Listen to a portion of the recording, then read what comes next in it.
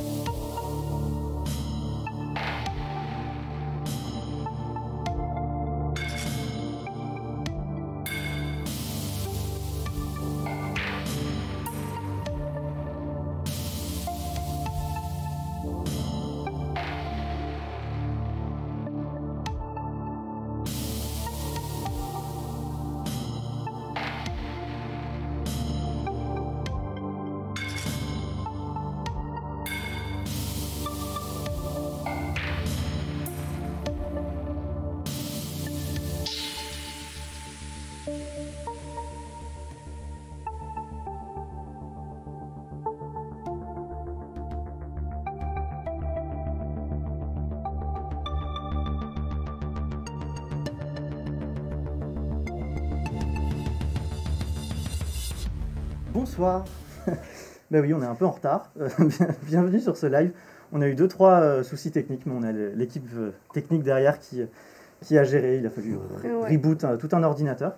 Mais du coup, bienvenue sur, euh, sur ce live d'Auroralp, le premier. Alors surtout installez-vous, on est vraiment dans une soirée de discussion. Donc vous prenez votre plaid, une tisane, un thé éventuellement. Attention la théine le soir c'est pas ouf. Un petit chien, si vous avez un petit chien, et on se, on se calme, on est au calme, et on discute ce soir, tranquillement. Et donc, euh, pendant la soirée, n'hésitez pas à, réagir, à, poser des questions. On est en, compagnie de deux astronomes, euh, donc euh, c'est l'occasion de leur poser des questions. parce qu'on n'en a pas tous les jours dans, son salon un, astronome, donc, donc autant en profiter. N'hésitez pas à réagir sur Twitter aussi, à nous poser ces questions, et puis on prendra certaines d'entre elles, si on a le temps, pour, pour les poser aux, aux- chercheurs qui nous accompagnent ce soir. Tout à fait, tout à fait.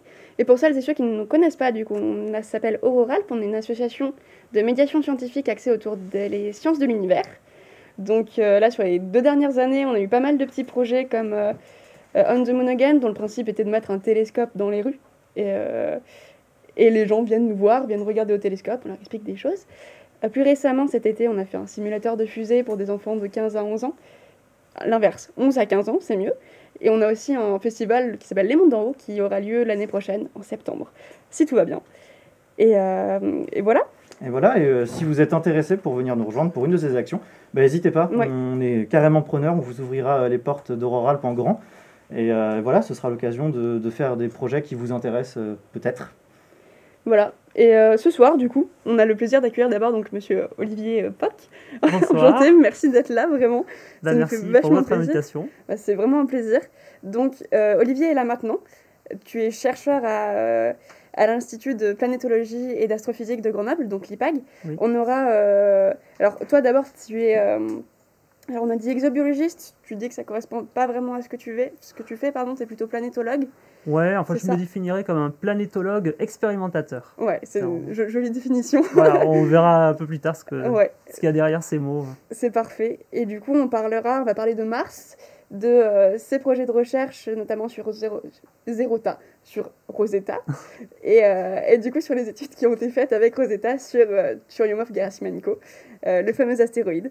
Et La en- comète. La Attention, comète, tu- pardon. tu vas te Oh faire, je me, oui, je me, j'entends mes mots et je me fais lyncher. Et puis en, en deuxième partie, on recevra Philippe Delorme, euh, qui est euh, euh, astrophysicien euh, adjoint à l'IPAG, donc l'Institut de planétologie et d'astrophysique de Grenoble, tu l'as dit. Et avec lui, on en profitera pour lui poser quelques questions sur un sujet qui a un peu défrayé la chronique récemment, la phosphine sur Vénus. On aurait découvert une molécule qui serait synonyme de vie, euh, perturbant. Euh, et en fait, on, on verra avec lui euh, ce qu'il en est et est-ce que c'est tout à fait... est-ce que c'est une découverte qui vaut la peine Est-ce que est-ce que c'est un, flop Voilà, et essayer Ouais. de comprendre un peu plus ce qu'il en est. Et puis on en profitera ensuite pour s'éloigner encore plus du système solaire et aller carrément voir les exoplanètes et voir la question des, des exoplanètes habitables ou ce qui se passe là-bas. Et petit disclaimer, attention, euh, on va parler ce soir de vie extraterrestre. Et la vie extraterrestre, euh, c'est très vague, très vague, très flou. Et dès qu'on commence à aborder ces questions-là, même les indices de vie, sans même parler de, vie, euh, sans même parler de, vie développée, hein, juste des indices comme des acides aminés ou autres molécules complexes, on se retrouve parfois face à un emballement médiatique. Et donc ce soir, l'idée, c'est justement de s'éloigner un peu de tout ça, de se poser, de prendre le temps euh, et de discuter avec des personnes qui connaissent le sujet pour euh, continuer de s'émerveiller du ciel tout en gardant son esprit critique.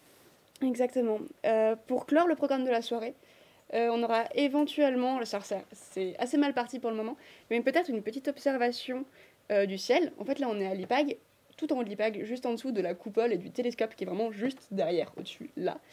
Et si jamais le temps est un peu plus clair, s'il y a moins de nuages, euh, on pourra éventuellement lancer une petite session de- d'observation des objets qu'on peut voir euh, en ce moment. Euh, donc à voir si le temps se dégage ou pas. Pour le moment, c'est pas super bien parti. On a la terrasse juste à côté. Bon, enfin, on voit pas grand chose, mais avant qu'on lance le live, c'était pas fou. Voilà, à voir peut-être. Ce sera peut-être un petit bonus en fin de soirée. On pourra voir ça. Eh ben, on commence. C'est parti. Donc Olivier, du coup, euh, t'as fait toute une thèse. Dont est-ce que je te laisse lire, dire l'intitulé toi-même de ta thèse? On l'a noté ici Oui. parce qu'il est très long. Est-ce que tu l'as en tête? Est-ce que tu peux le Alors, dire est-ce que je me souviens de l'intitulé de ma thèse? C'est un peu le challenge de début. euh. Recherche d'indices de vie ou d'habitabilité à la surface de Mars. Simulation en laboratoire des processus d'évolution de la matière organique à la surface euh, de Mars. Tu es très bon, tu es très bon pour dire C'est ton bon propre sujet de thèse. C'est tout juste Mot pour mot, bon. exactement ça. Euh, du coup, tu... ça s'est passé comment exactement? Tu as étudié euh, la recherche de, de molécules organiques sur Mars, du coup. Donc, euh, petite photo Oui, de Mars donc euh, que j'ai actuellement ici. voilà. On peut afficher en live aussi. Mars qui est euh, au plus près de la Terre, là, Ouais, euh, en, ce ce moment. moment. là. Et donc, c'est l'occasion aussi d'envoyer des missions euh, vers Mars, comme ça. Elle, elle repasse au plus près de, de la Terre euh, à peu près tous les deux ans. ouais, Euh, d'accord. voilà. Et euh, alors, comment j'en suis arrivé à faire une thèse sur Mars Ouais. Bah, Alors, j'étais euh, intéressé par la chimie, intéressé par euh, la planète Mars en particulier et la recherche de vie sur Mars. Mm. Euh, et alors, pourquoi on recherche la vie sur Mars? Peut-être on peut commencer par C'est une très bonne question, ouais. oui. Pourquoi Mars en Voilà. particulier? Alors en fait, Mars aujourd'hui, ben, tu as montré cette photo, c'est un désert. Ben voilà, Ouais, tout à fait. orangé, rouge, euh, Pas très hospitalier. aride. On a une a- seule couleur, alors que la Terre, on a le bleu, on a le vert. Voilà, Ah, c'est un immense Sahara en fait si on regarde ça, euh, Ouais. voilà, même depuis l'orbite sur cette vue-là, il n'y a, pas d'eau liquide à la surface, etc. Et. Pourquoi on pense, euh, pourquoi on va chercher la vie sur Mars ou des indices de vie sur Mars? Alors que ça semble pas, effectivement, ça semble pas cohérent comme ça à première vue. Effectivement. Ben voilà. Mais si on regarde cette surface euh, de manière un peu plus précise, on voit qu'il y a des indices d'écoulement Ouais. Ouais, des creux, euh, des bosses. d'un liquide. Si on regarde euh, la spectroscopie de sa surface, euh, bah, il y a des, des sondes donc, qui ont cartographié la composition de la surface grâce à la spectroscopie. Et on s'aperçoit qu'il y a des minéraux hydratés donc, qui se sont formés dans de l'eau liquide, ce qui prouve que ces, ces vallées dont on voit les traces à la surface ou euh, traces de lacs aussi, eh bien, ont été formées par de l'eau liquide. Donc il y a eu de l'eau sur Mars, mais il y a très longtemps. Euh, il y a plus, euh, sans doute plus de 3,8 milliards d'années. sans doute que la surface de Mars était semblable à la surface, de, la surface Terre. de la Terre. Voilà, avec de l'eau liquide en surface. Euh, et puis Mars a subi un changement global, euh, a perdu notamment une grande partie de, de son atmosphère, a perdu son, son champ magnétique aussi. Elle est nettement plus petite que la Terre. C'est peut-être pour ça qu'elle a, qu'elle a perdu son atmosphère, son champ magnétique. Aujourd'hui, la surface n'est plus habitable. L'eau liquide ne peut plus être présente en surface, donc elle n'est plus, elle n'est plus habitable. Mais on pense retrouver des traces, peut-être, si, si à l'époque où euh, Mars était semblable à la Terre, si à cette époque-là, la vie a émergé sur Mars, on sait qu'elle a émergé sur la Terre, alors pourquoi pas sur Mars? Tout à fait. Eh bien, est-ce qu'on est capable d'en retrouver des traces dans les roches très anciennes de la surface de Mars D'accord. Voilà la question. Tu parles, tu as dit un mot qui est, euh, qui est assez intéressant, c'est euh, habitable. Oui. Euh, Comment, euh, qu'est-ce qu'on entend par habitable en fait? Quand on, quand on parle de planète Qu'est-ce que ça, quels paramètres on va chercher quelques, ouais, quels paramètres on va Ouais. chercher, quelles valeurs on va chercher quand on parle d'une planète habitable? Alors, donc, on cherche à savoir si la, la- la- la- la planète en question euh, ou l'environnement en question donc, peut, euh, peut être habité par des formes de vie. Ouais. La vie, qu'est-ce que c'est? C'est euh, surtout de l'eau Mm. liquide. Nos cellules, c'est c'est surtout de l'eau. Ouais. Euh, plus, plus, plus de 50% en masse d'eau, même euh, jusqu'à 60-70% d'eau ouais. et des molécules à base de carbone. Donc, euh, pour avoir de la vie, il faut de l'eau liquide et des molécules à base de carbone. Ok. Eau liquide, euh, voilà. Donc Mars, euh, la surface de Mars a, a eu de l'eau liquide au début de son histoire. Donc là déjà on rentre dans ce critère éventuellement. on coche une Donc, déjà. ouais. Donc, elle est, la surface de Mars, dans, dans le passé, a potentiellement été habitable. Voilà. On ne sait pas si elle a été effectivement habitée, si la vie a pu émerger euh, sur, euh, à la surface de Mars. Mais c'est, on, on cherche essentiellement euh, l'eau liquide. Ok, dans Euh, toute, en euh, quand on fait de la planétologie, qu'on recherche éventuellement des exoplanètes, on, en- on verra ça aussi avec Philippe Delorme tout à l'heure. Mais globalement, du coup, la recherche d'eau liquide est un gros critère pour savoir euh, si éventuellement il y a pu avoir de la vie sur cette planète ou non, c'est ça? C'est une première étape. Ok, ok. disons. Voilà. Qu'est-ce qu'il y aurait Ah. derrière, du coup, comme, euh, comme autre étape et comme autre case à cocher pour l'habitabilité? Alors, l'autre étape, c'est qu'il faut des molécules organiques aussi. Ouais. Voilà, pour qu'il y ait pu avoir dans cette eau liquide l'émergence euh, des premiers systèmes vivants. Euh, et, euh, et après que ces systèmes vivants aient pu continuer à évoluer et donner, par exemple, toute la diversité de la vie qu'on connaît sur la Terre. Voilà. D'accord. Euh, et voilà, donc on va chercher aussi ces, ces molécules organiques comme trace de cette chimie qui a pu former les premiers systèmes vivants. On parle de chimie prébiotique, c'est-à-dire qui a précédé la vie. Euh, et si effectivement cette chimie, il y a eu une chimie prébiotique qui a abouti sur la formation des premiers systèmes vivants, on va aussi chercher ben, des, sortes de fossiles de, de, ces, de, De ces ces- tra- de, de- de cette vie qui a pu, qui a pu émerger. Voilà. D'accord. Des traces. Alors sur, sur Terre, euh, on peut chercher des fossiles Ouais. On peut en sur trouver. Terre, en fait. Et on peut en À trouver. côté d'ici, à Grenoble, il y en a, il y en a plein dans le Voilà. Et tout, on peut en trouver facilement. ouais. Voilà. Euh, on trouve même sur Terre des roches euh, très anciennes qui ont euh, euh, 3 milliards euh, d'années, voire plus.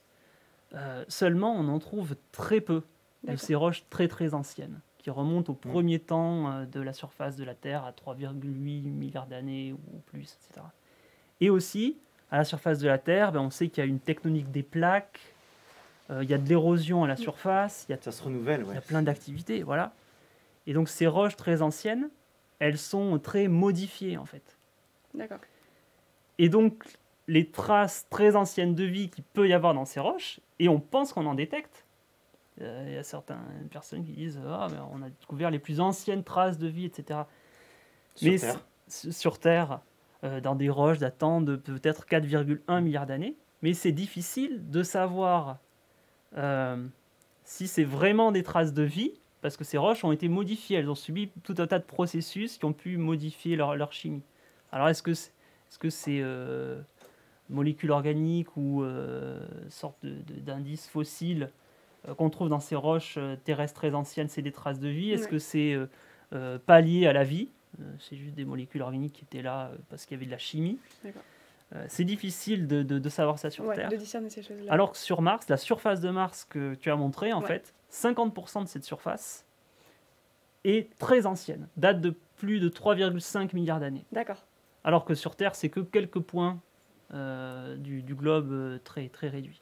Et sur Mars, en fait, on a une surface très ancienne qui est apportée de nos, bah, de nos robots, de nos sondes pour aller explorer euh, ces, ces- ces vieilles roches qui peut-être euh, voilà, recèlent euh, la- la- les indices sur le début de la chimie prébiotique et peut-être sur, sur l'émergence de Donc la on a accès beaucoup plus facilement au passé de Mars qu'à celui de la Terre.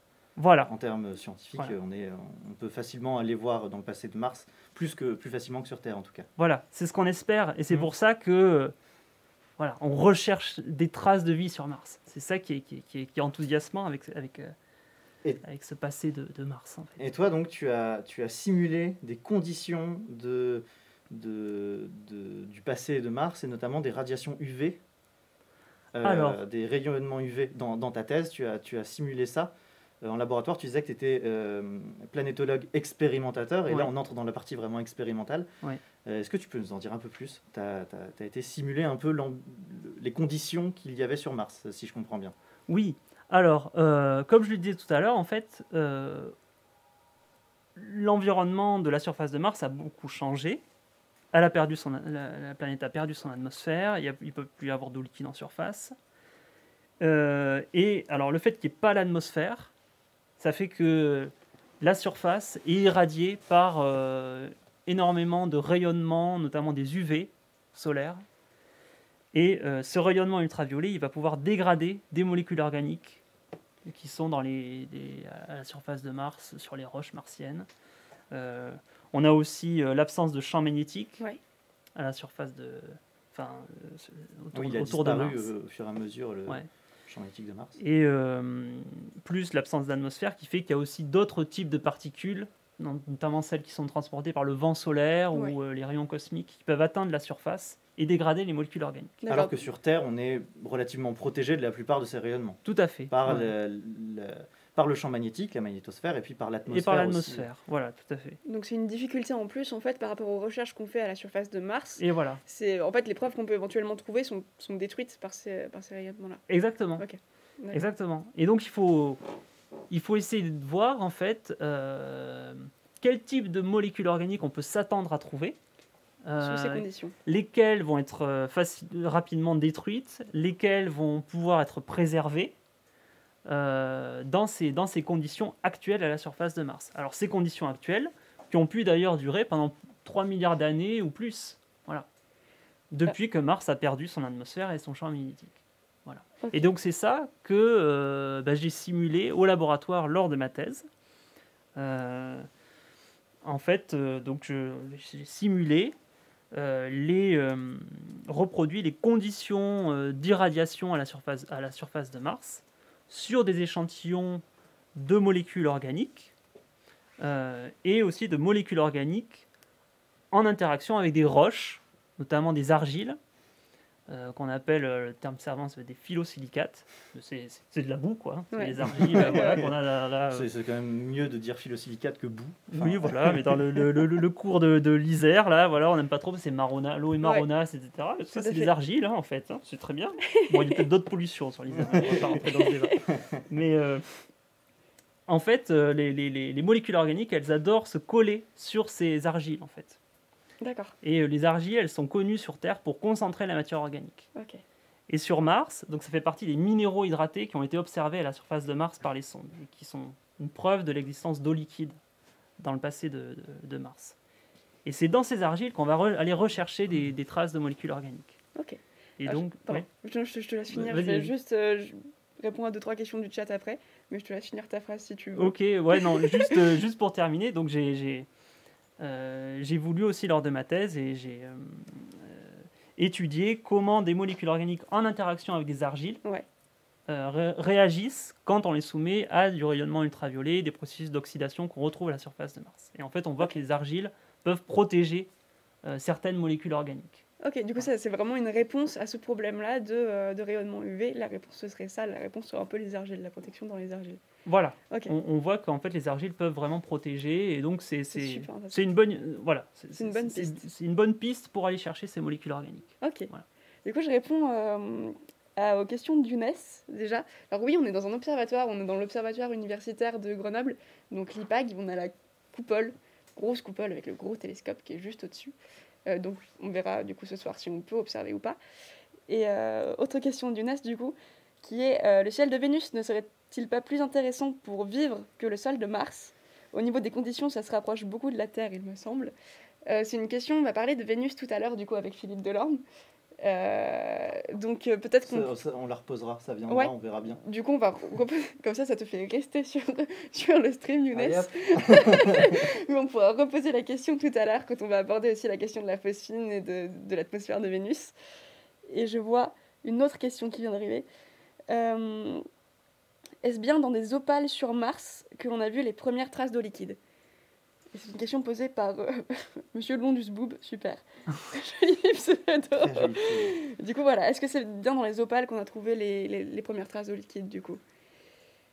Alors, des, des traces d'eau liquide. euh, Alors, on a trouvé plusieurs types de molécules, de, pardon, de minéraux euh, à la surface de Mars, dont des minéraux qui, dans leur structure, euh, ont euh, de- de- des traces, enfin, ont- des, des, des, des, des morceaux de molécules d'eau, en D'accord. fait, dans leur structure minérale. Donc, les argiles en font partie, les opales en font partie.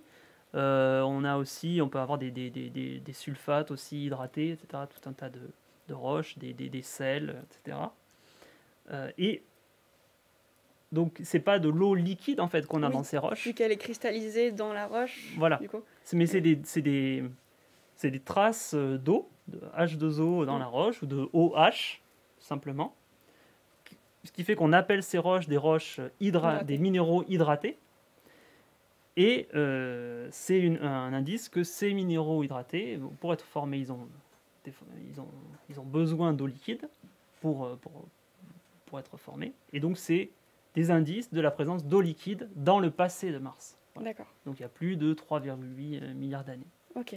Voilà. D'accord. J'espère Et que. aujourd'hui, en surface, il n'y a pas, il y a pas d'eau liquide. L'eau liquide ne peut pas être stable à la surface de Mars, en surface. Oui, les, les conditions de pression et de température font que de toute manière, le liquide, c'est même pas la peine d'y penser en surface. Voilà. Ou alors elle, elle bout tout de suite et voilà, elle ne peut pas être stable. Voilà. Mais en sous-surface, peut-être qu'on un peut, peu. voilà. Peut-être qu'on pourrait imaginer euh, de, de l'eau liquide euh, en sous-surface. Voilà. Ça, c'est encore une question. Ça, ça avait été trouvé il y, a quelques, il y a quelques années, et puis quelques mois aussi, il y a eu des, des annonces avec de, de- de la saumure, donc pas de l'eau au sens euh, euh, habitable du terme, je veux dire, mais euh, De l'eau très salée. de ouais. l'eau très salée. Ouais. euh, qui, qui- on a trouvé des, des étendues d'eau euh, dans la, sous la surface. ça. Il y, a des, il y a des données radars, euh, donc des radars qui sont de jusqu'à, alors je sais, je sais plus, je ne saurais pas dire à quelle à profondeur, mais bon, plusieurs centaines de, de- de mètres euh, sans doute, la surface de la surface de Mars.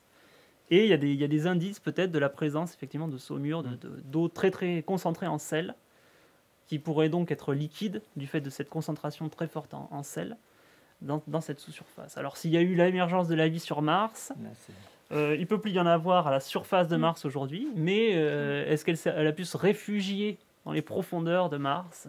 Ça, ça reste Peut-être, des ça suppositions, mais alors pas. La question reste vraiment euh, en suspens. Voilà. Et, Alors, euh, euh, pardon, t'as dit- t'as une question non, à je sais pas si tu veux rebondir sur Mars. J'allais euh, rebondir sur Rosetta. ben Donc, voilà. euh, t'allais rebondir sur Rosetta aussi? Euh, ben oui, exactement. C'est magnifique, c'est parfait. On rebondit sur Rosetta Allons-y. On enchaîne sur Rosetta. Comme Philae, Phrase. qui a rebondi euh, sur la Un comète. peu trop, qui s'est pas posé directement. Voilà. C'est une belle analogie. Euh, Est-ce que tu peux nous expliquer ce que tu as fait du coup euh, dans le cadre de tes... Qu'est-ce que tu as fait exactement comme travail euh, sur Rosetta justement avec cette sonde et avec ce- cette comète? Du coup, je ne refais pas la même erreur. Ouais, alors, euh, donc après avoir travaillé sur la surface de Mars, je me suis Ouais. intéressé euh, aux propriétés des surfaces des comètes. En regardant la spectroscopie donc des, des- de, de ces objets, c'est-à-dire euh, euh, le- le- la lumière réfléchie par euh, les surfaces des, des comètes à plusieurs longueurs d'onde. ce qui permet de d'observer en fait déjà la couleur de l'objet, son la, la- la quantité de lumière qui est réfléchie par les objets. Les comètes, c'est des objets très très sombres. Mm. Et Mm. aussi, euh, ce qui était intéressant avec, avec Rosetta, c'était qu'on allait pouvoir euh, donc avoir des, des- des- observer cette lumière jusqu'à l'in- jusqu'à l'infrarouge, donc des, des- des longueurs d'onde euh, au-dessus de 800 nanomètres jusqu'à euh, euh, qua- 4000 nanomètres, 5000 nanomètres même. Et on allait pouvoir observer ce qu'on appelle des bandes d'absorption, Ouais. Euh, c'est-à-dire des, des diminutions d'intensité euh, lumineuse dans la lumière réfléchie par le- par l'objet, qui sont dues en fait à, à ce qu'une partie de la lumière du soleil qui éclaire l'objet est absorbée par les composés à la surface, D'accord. ouais.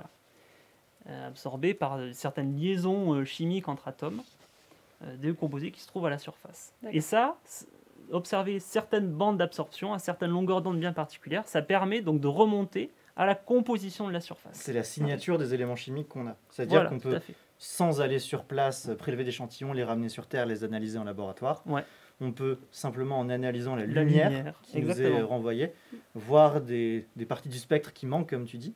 Exactement. Euh, et ça, c'est la signature de, chaque élément chimique. En gros, chaque élément chimique a sa signature spécifique. Euh, chaque liaison Chaque liaison, pardon. entre, euh, Ouais. entre Entre euh, éléments chimiques qui constituent une molécule donc- ou un minéral. Et donc, par déduction, on peut retrouver les éléments chimiques euh, concernés. Voilà. On, essaie de remonter à la composition euh, de, de, de l'objet. Et notamment à la composition en éléments chimiques, euh, par exemple, d'une comète. Je rebondis sur un truc que tu as dit tout à l'heure. Ouais. Tu as dit que les comètes étaient des objets très euh, obscurs, n'est pas le bon terme, mais euh, sombres, merci. Euh, et c'est assez, paradoxal parce qu'on nous apprend, on entend beaucoup que les comètes du coup sont des corps qui sont faits de glace. Donc on imagine quelque chose de, de plutôt transparent, de plutôt clair, d'un aspect assez pur en fait. Du coup, comment, comment expliquer ce, cette, que ce soit un objet sombre au final, vu qu'on on a l'impression que c'est un truc en- en glace? Alors, dans les comètes, c'est vrai qu'il y a de la glace. Ouais. D'ailleurs, quand les comètes, donc c'est des, des- des- des petits objets euh, genre astéroïdes, comme Ouais. tu disais au début. C'était pas trop faux en fait. Mais euh, c'est des petits objets qui sont riches en glace, qui se rapprochent euh, du Soleil, et cette glace se transforme en gaz et Mhm. forme cette chevelure qu'on observe derrière, les, derrière les, co- les- les- les comètes, et qui leur donne leur, leur aspect voilà, typique dans le ciel. Il y avait Neowise cet été qu'on voyait très bien. Exactement, c'était chevelure. magnifique, c'était magnifique. Ouais. Voilà. Très Ça bien. éjecte, ces gaz éjectent plein de, plein de poussière aussi qui forment cette, cette chevelure. Et donc il y a des gaz à l'intérieur. Il y a- Enfin, pardon, avant que ça devienne de la, des gaz, il y a de la glace à l'intérieur de- du- de- du noyau cométaire, de l'objet. Mais en fait, à la surface, cette glace, elle est, elle est très peu présente à la surface. Euh, la mission Rosetta, elle a cartographié le noyau de la comète euh, 67P euh, Churyumov-Gerasimenko. Churi pour les intimes, ou 67P quand on ne veut pas euh, s'embêter. Euh, donc elle a carto la sonde Rosetta a cartographié cette surface cométaire et on a observé de la glace seulement dans des points euh, très très euh, petits, très locaux. Euh, Voilà, il y avait des tout petits points très, très brillants sur une surface qui est relativement sombre. En fait, la glace peut être juste en dessous de cette couche très sombre de, de matière euh, minérale et, euh, et euh, carbonée. En fait, c'est de la glace sale, une comète. Est-ce qu'on peut comparer ça un peu, c'est ce qu'on disait avant de lancer l'émission, est-ce qu'on peut comparer ça à, une- à un glacier en fait si, si dans le chat, si dans les gens qui regardent le stream, il y a des gens qui ont eu la chance de voir un glacier, euh, en fait c'est pas blanc, il y a tout un... Est-ce que c'est un peu comme ça? Est-ce qu'il y a tout un truc, une sorte de manteau noir, des sédiments qui recouvrent, qui recouvrent cette glace? C'est un peu comparable? Euh, ouais, on peut voir ça comme ça, Euh, mais sachant que sans doute que la glace qu'il y a dessous, la, la- la Ouais. couche noirâtre de la comète, elle est aussi sale en fait. D'accord, C'est-à-dire elle est aussi noire en fait. ok. Ah oui d'accord, Euh, donc voilà. c'est pas simplement un dépôt en fait, c'est vraiment... euh, D'accord, Voilà, ouais, ouais. ok. En fait, bon, on a, après on n'a jamais creusé une comète. hein. Euh, ça, ça vient de le faire dans le Ce serait futur. pas mal. Euh, mais pour le moment, on l'a on l'a pas fait. Voilà. Mais, euh, Et donc, euh, on en revient encore à- au planétologue expérimentateur. Oui. Toi, il y a quelque chose, donc un article qui est paru il y a quelques mois euh, sur euh, justement, euh, tu as fait partie d'une équipe qui a recréé, euh, qui a essayé en tout cas de recréer la surface de la comète euh, Chury. Oui. Euh, et donc ça, ça donne quelque chose d'assez euh, d'assez im- impressionnant, c'est qu'en fait vous avez réussi à recréer en laboratoire cette, euh, cette surface et à quoi ça vous, ça vous a servi? Pourquoi vous avez fait ça? Euh, À quoi ça sert Ouais, en fait ouais. Ben, en fait, euh, donc on a vu ces observations de la lumière réfléchie par la surface cométaire dans l'infrarouge. Ouais. Euh, et on avait une bande d'absorption, donc euh, vers 3.2 microns. Et depuis plusieurs années, on n'arrivait pas à expliquer euh, quels sont les composés, quelles sont les liaisons chimiques et les- donc les composés chimiques à l'origine de cette bande d'absorption. D'accord. Et donc, on s'est dit, bon, on va faire des mesures en laboratoire de plusieurs candidats, plusieurs molécules qui pourraient expliquer euh, cette signature et euh, euh, observer sur la comète. Et donc, on a reproduit cette poussière noire. Donc, on n'a pas reproduit exactement, bien sûr, parce qu'on ne sait pas exactement quelle est sa composition très précise.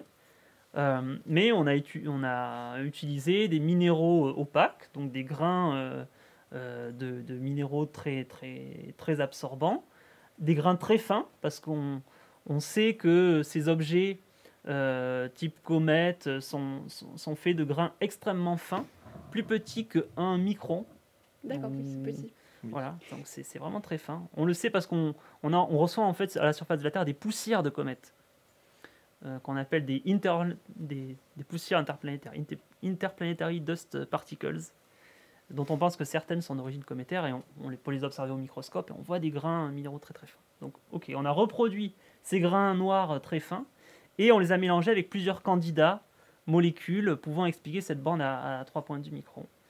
Et on s'est aperçu que des molécules type de sel d'ammonium, donc euh, c'est euh, NH4+, Ouais. l'ammonium, associé à euh, une autre molécule, un anion, donc une molécule qui va être chargée négativement, euh, type euh, le, for- le, le formate, D'accord.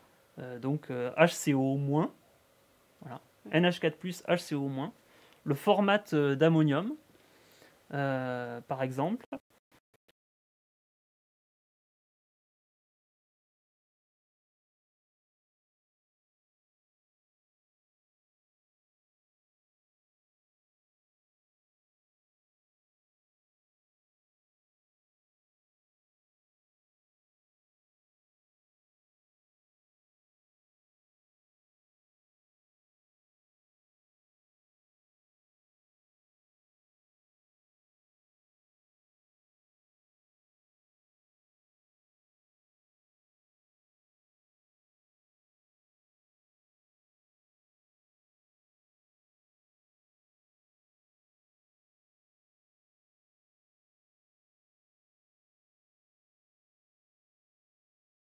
Ok.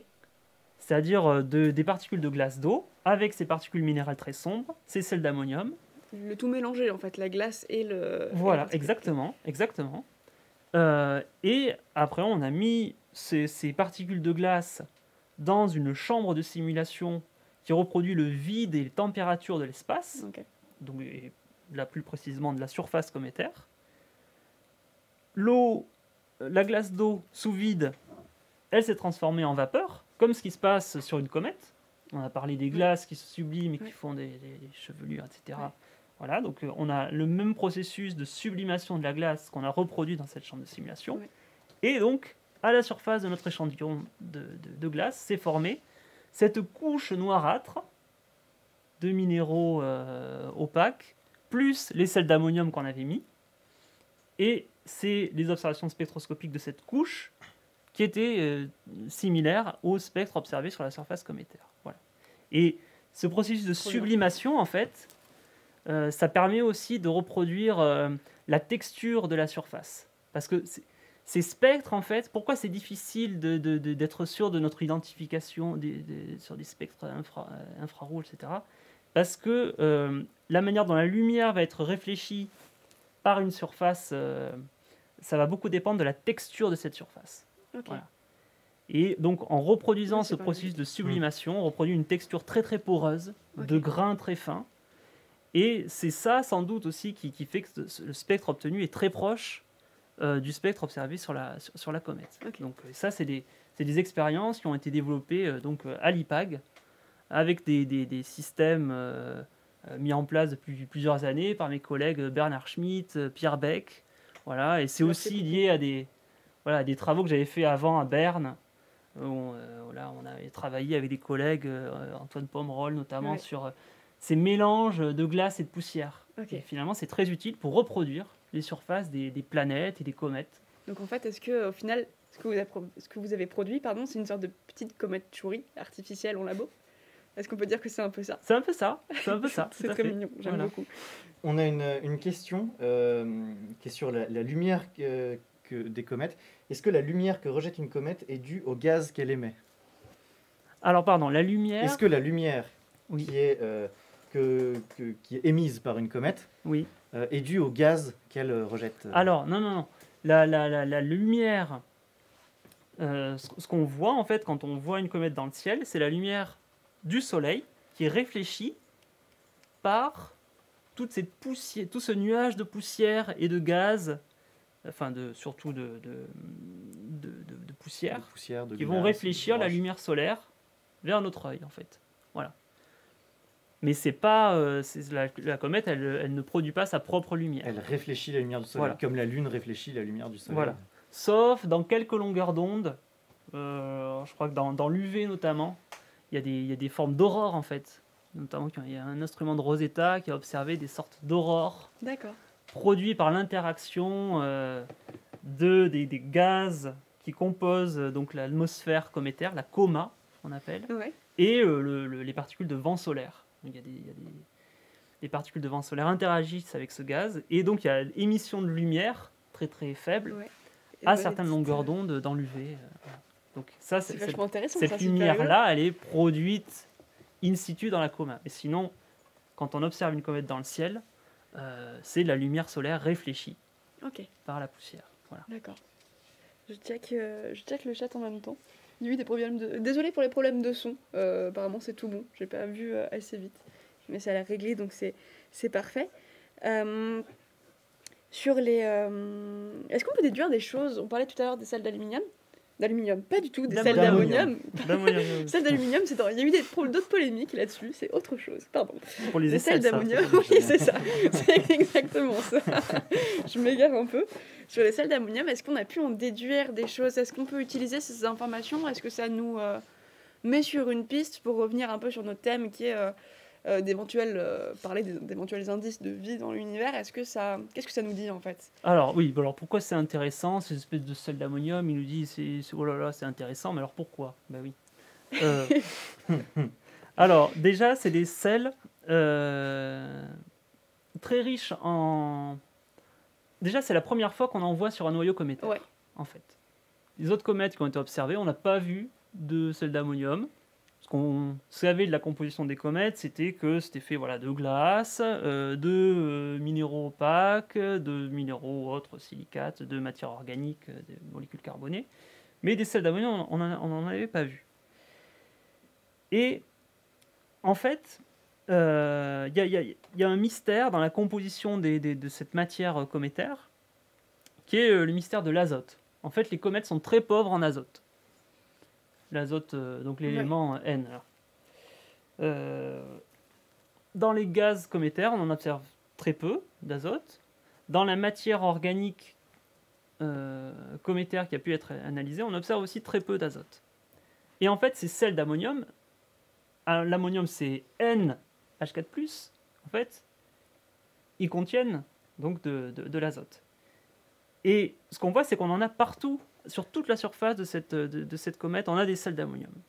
Et donc tout cet azote, eh ben, on ne le comptait pas dans notre bilan élémentaire euh, de composition de la comète avant. Et si on le prend en compte, si on prend en compte cet azote manquant, en fait, on s'aperçoit que les comètes sont plus riches en azote que ce qu'on imaginait auparavant. Et ça, c'est intéressant parce que pourquoi on étudie les comètes? On étudie les comètes parce que ce sont euh, les vestiges des objets qui ont formé les planètes. Et donc on veut savoir euh, quels étaient les ingrédients, les éléments chimiques, et en quelle proportion ils étaient là lors de la formation de la Terre, de la formation des autres planètes. D'accord. Euh, et donc d'avoir détecté ces sels d'ammonium, ça nous dit que voilà, il y a plus d'azote sur cette comète et peut-être sur d'autres comètes que ce qu'on pensait auparavant. Euh, et donc ça, nous- ça- ça nous permet de préciser la composition de ces objets. Et aussi, euh, cette bande d'absorption vers 3.2 microns, 3.1 microns, liée au, expliquée par la présence de sel d'ammonium, on, on, on la retrouve sur plusieurs autres objets, plusieurs astéroïdes notamment, D'accord. et qui dont les spectres avaient été observés par des télescopes depuis la Terre, mais on ne savait pas très bien pourquoi il y avait cette bande. Voilà. Euh, c'est- c'était- c'est- L'explication n'était pas claire. Il y a des satellites irréguliers de Jupiter aussi qui avaient une bande vers, vers- qui ont une bande vers 3.1 microns. Mais c'est bien possible qu'il y ait des sels d'ammonium sur plein d'autres objets. Ok, Ok. d'accord. On a une question, je ne sais pas si tu vas être capable d'y répondre ou pas. Euh, y a-t-il eu des études réalisées sur la composition de la comète Neowise qui est passée cet été? Euh, Notamment, je pense à de la spectroscopie, euh, parce que ça peut se faire à distance en analysant le spectre, comme on parlait tout à l'heure. Est-ce que tu sais si ça s'est fait ou pas sur cette comète Alors, je ne sais pas si ça s'est fait.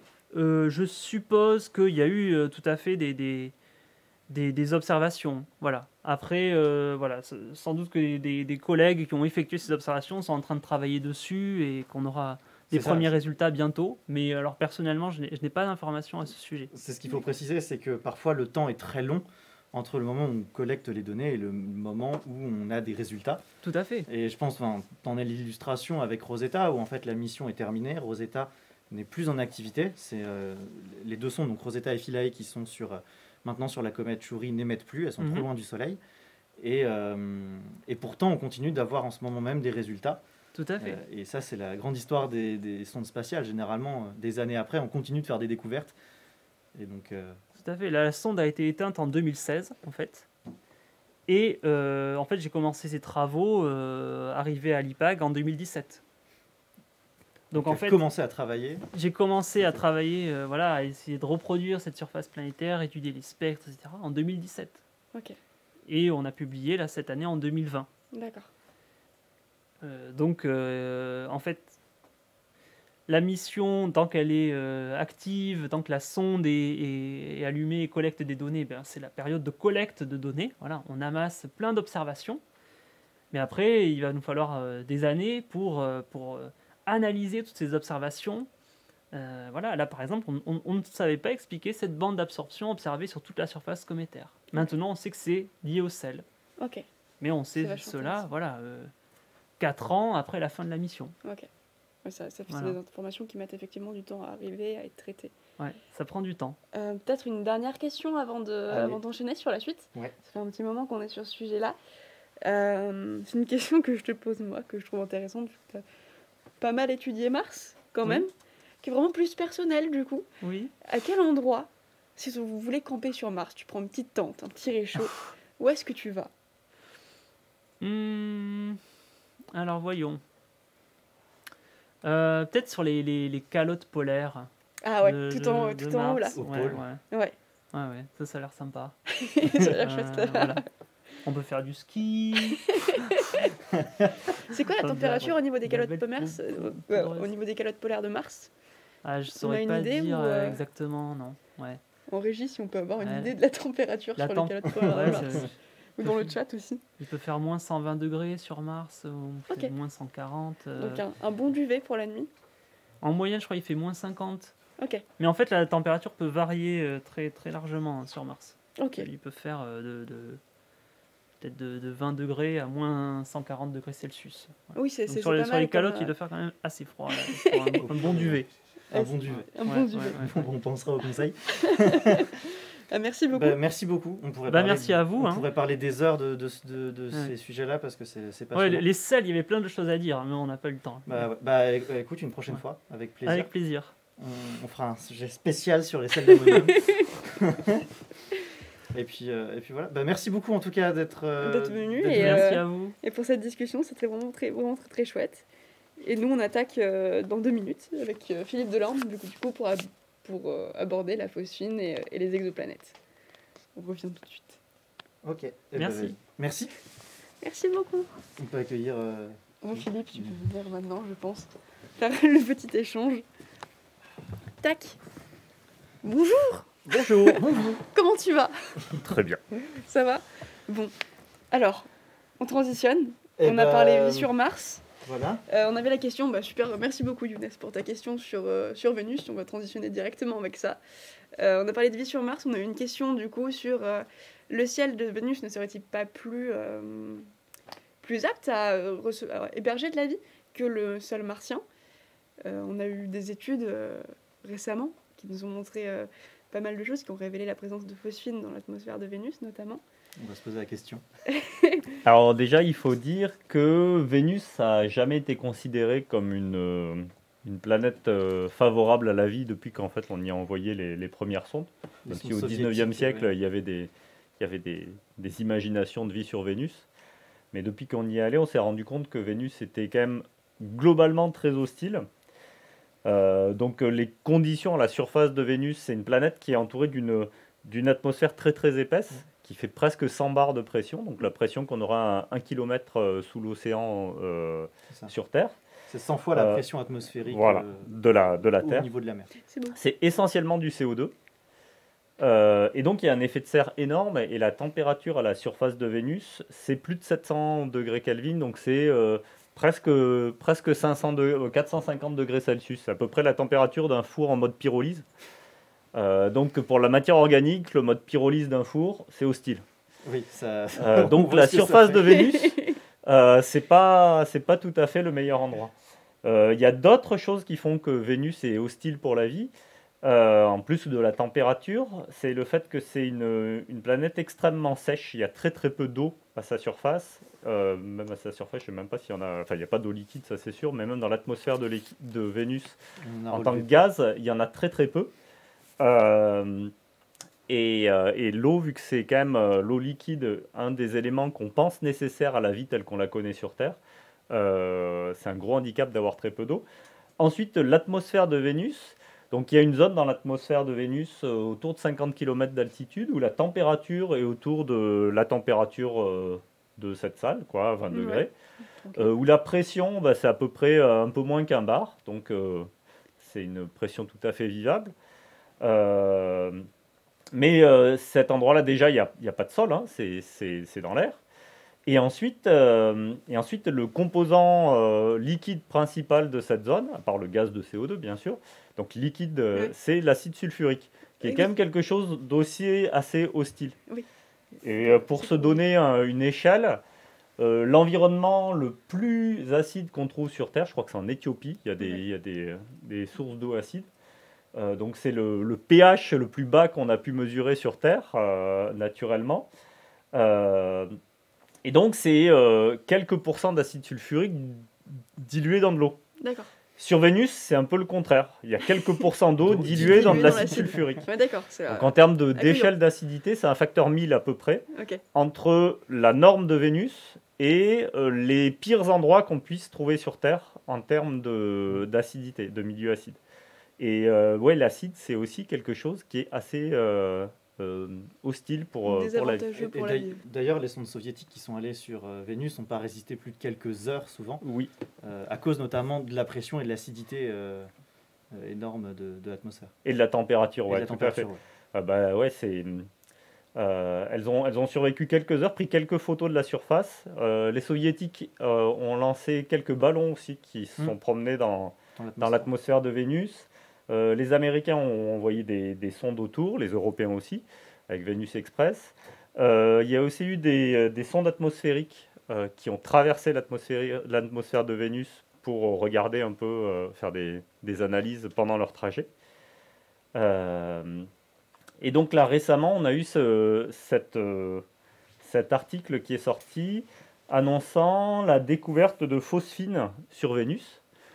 Alors pourquoi la phosphine, euh, ce serait quelque chose d'intéressant à découvrir sur Vénus? C'est que euh, c'est une molécule qui, euh, dans les conditions vénusiennes, mais aussi terrestres, en fait, dès qu'il y a des oxydants, donc l'oxygène, typiquement, est détruite très très rapidement. Donc pour qu'il y ait de la phosphine détectée sur Vénus, si jamais c'est confirmé, on va voir que c'est c'est pas encore certain que la détection soit réelle. Euh, On y vient. Euh, eh ben, il faut imaginer un mécanisme qui produit en continu de la phosphine.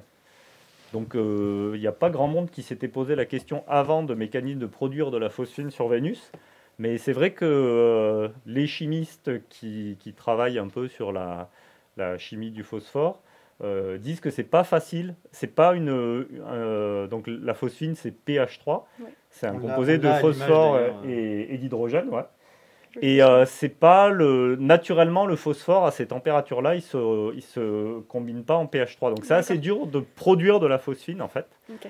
Et en fait sur Terre, euh, le, le principal euh, élément où on, où il- on produit de la phosphine de manière non industrielle, parce que c'est utilisé en fait comme un poison, euh, un dératisateur C'est- c'est notamment. extrêmement Ouais, C'est ouais, ouais. très toxique, c'est explosif, enfin, ça, C'est ça- c'est très charmant comme, comme molécule.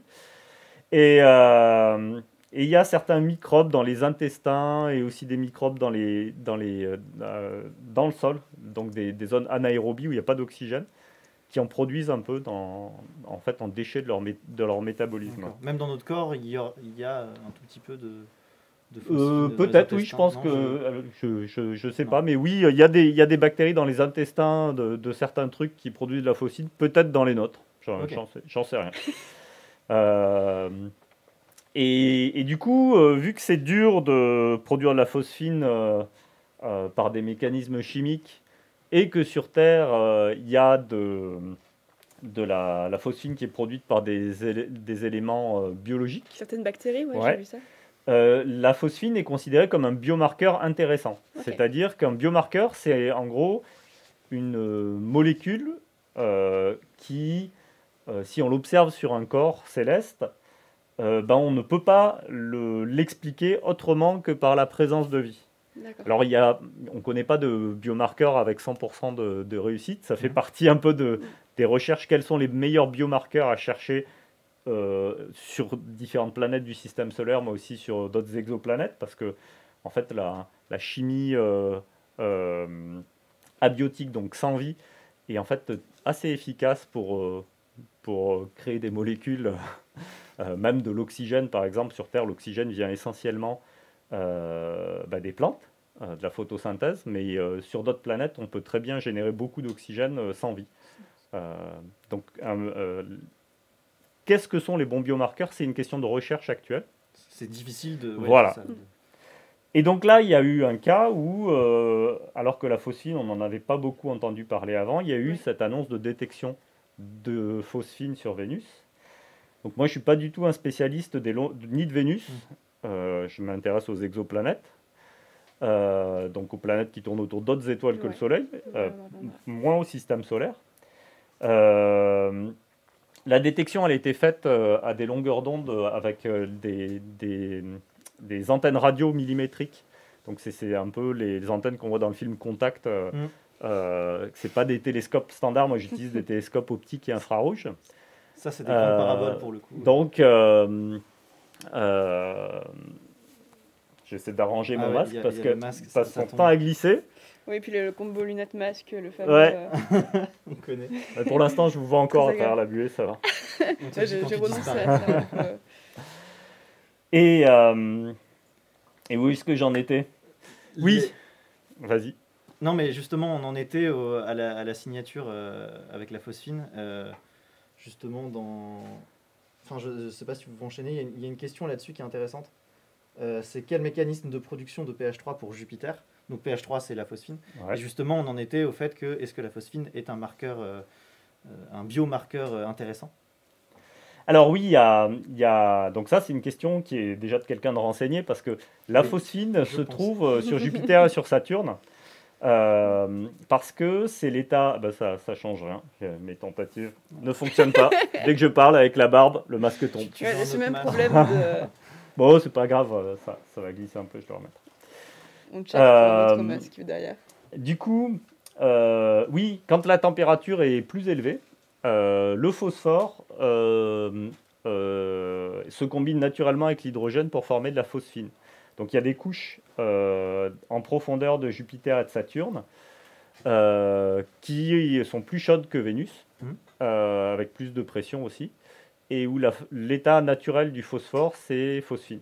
D'accord. Et après, il y, a, on- il y a des gros mouvements de convection sur ces planètes qui font qu'il y a de la phosphine qui est envoyée du haut, du bas vers le haut. Tiens, il y a un masque Et, qui euh, arrive. Il y a un masque qui arrive. Je pense que c'est le même modèle, ça va pas aider. Je vais pas m'en mettre deux. Hein. Je vais essayer. C'est des élastiques, mais sinon. Je pense que c'est la barbe. Ouais. Euh, texte bar tout à l'heure, mais on n'avait pas pensé à ça, c'est vrai. Oui, je parlais pas autant tout à l'heure. et, euh, et donc, c'est pour ça qu'il y a de la phosphine observable sur euh, Vénus et Jupiter, euh, sur euh, Jupiter Saturne et et, Jupiter. et Saturne. Et par ailleurs, la phosphine survit plus longtemps sur euh, euh, Saturne et, et Jupiter parce que c'est des atmosphères qui sont composées principalement d'hydrogène, qui est euh, donc des- ce qu'on appelle des atmosphères réductrices, alors que Vénus est oxydant et la phosphine s'oxyde très facilement. Donc, elle- Euh, elle et donc elle est, très elle, est rapidement. dis- elle, est, elle est détruite notamment par euh, l'acide sulfurique très facilement.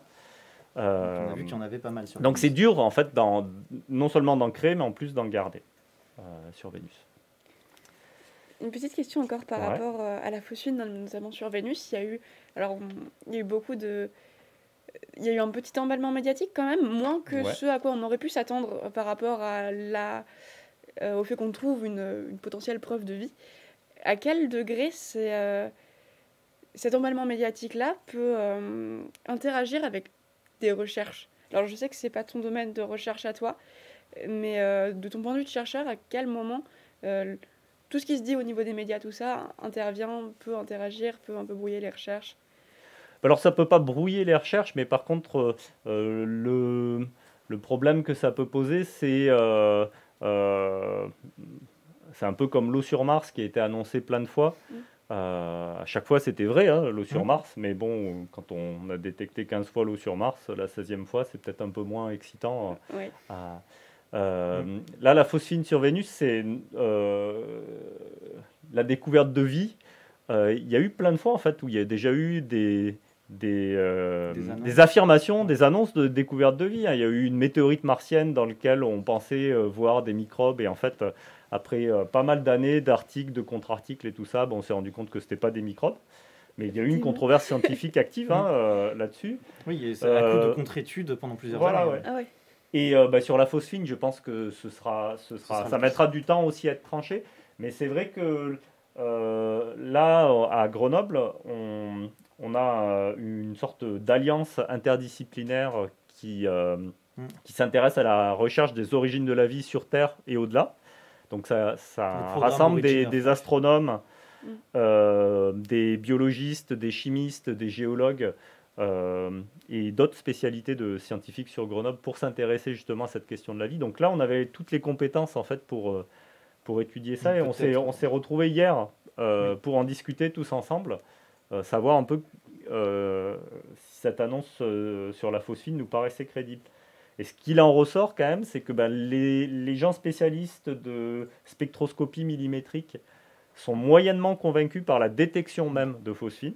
C'est-à-dire que eux pensent que c'est une erreur d'interprétation. Bah, ils pensent De- que c'est un signal qui est très faible, Mhm. hein, euh, à côté de bruits euh, très forts. Et donc, il y a un mécanisme pour enlever le bruit du signal, pour le, le bruit de- des données, pour Ouais. faire ressortir le signal. Et, Et ça, le souci, ouais. c'est que ce processus pour enlever le bruit, euh, et ben, il y a un petit côté euh, humain là-dedans. Euh, c'est pas. euh, c'est pas neutre. C'est- C'est une- voilà. une Et donc, euh, euh, est, on peut, sans le vouloir, Mm. euh, euh, en modifiant les, les paramètres, euh, ça peut modifier le signal qui est à la fin. Quoi. D'accord. Et donc, c'est très dur d'avoir complètement confiance dans un signal qui ressort de cette analyse à ce niveau de signal sur bruit. Après, il y a quand même deux détections indépendantes, Hmm. toutes les deux très faibles et toutes les deux qui souffrent de ce même biais d'analyse où on soustrait un bruit euh, d'une manière qui, est, qui peut introduire un faux signal. Hmm. Euh, C'est-à-dire qu'on n'est pas sûr parce que le, le signal se détache pas assez. La, la- la signature de la phosphine voilà. euh, est pas assez nette pour qu'on en soit euh, sûr. En tout Pour cas, qu'on c'est- soit sûr qu'il y en ait. c'est ça. Oui. C'est ce que remettent en cause Voilà. des, euh, des Donc l'article spécialistes de était- la spectrométrie. Voilà. L'article était euh, assez prudent sur le lien entre phosphine et vie, l'article scientifique original. Euh, par contre, euh, il disait on a détecté de la phosphine. Euh, cette détection, euh, ce qu'il en ressort, c'est qu'elle est quand même vraiment à confirmer.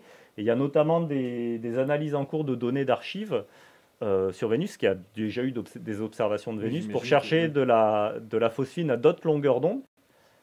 Et euh, pour l'instant, ils galèrent pour la trouver. Donc euh, on va voir quand les articles seront, publiés ou autre, mais il va y avoir des cycles d'articles et on va voir s'il y a vraiment de la phosphine.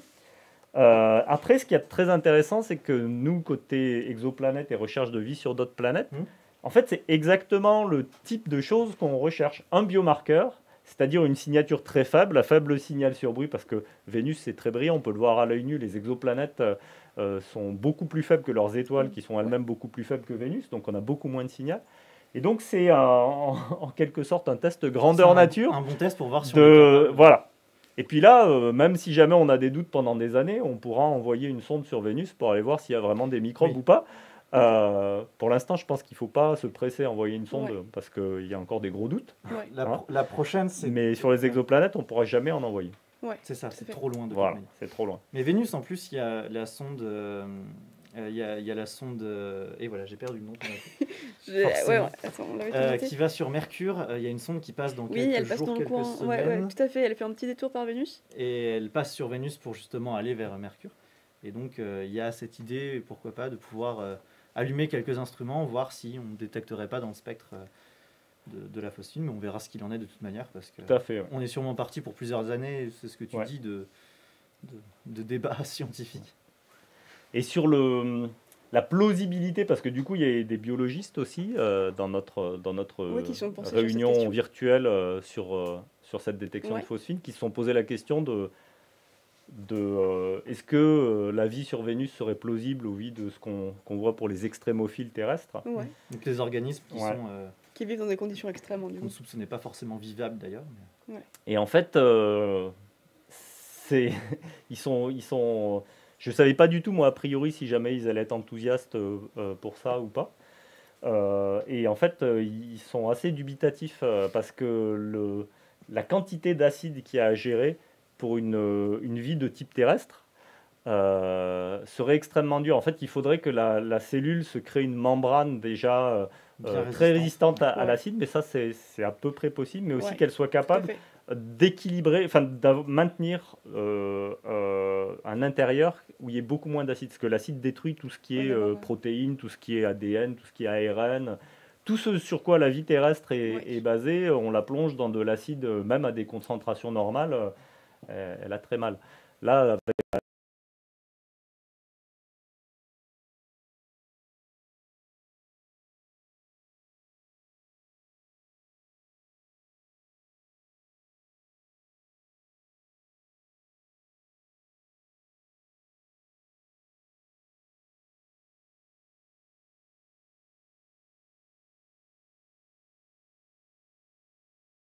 C'est quelque chose qui consomme énormément d'énergie, rien que pour maintenir un environnement interne de la cellule euh, euh, vivable. Ouais, ouais, ouais. Euh, enfin, qui puisse faire du, un métabolisme, donc générer des protéines.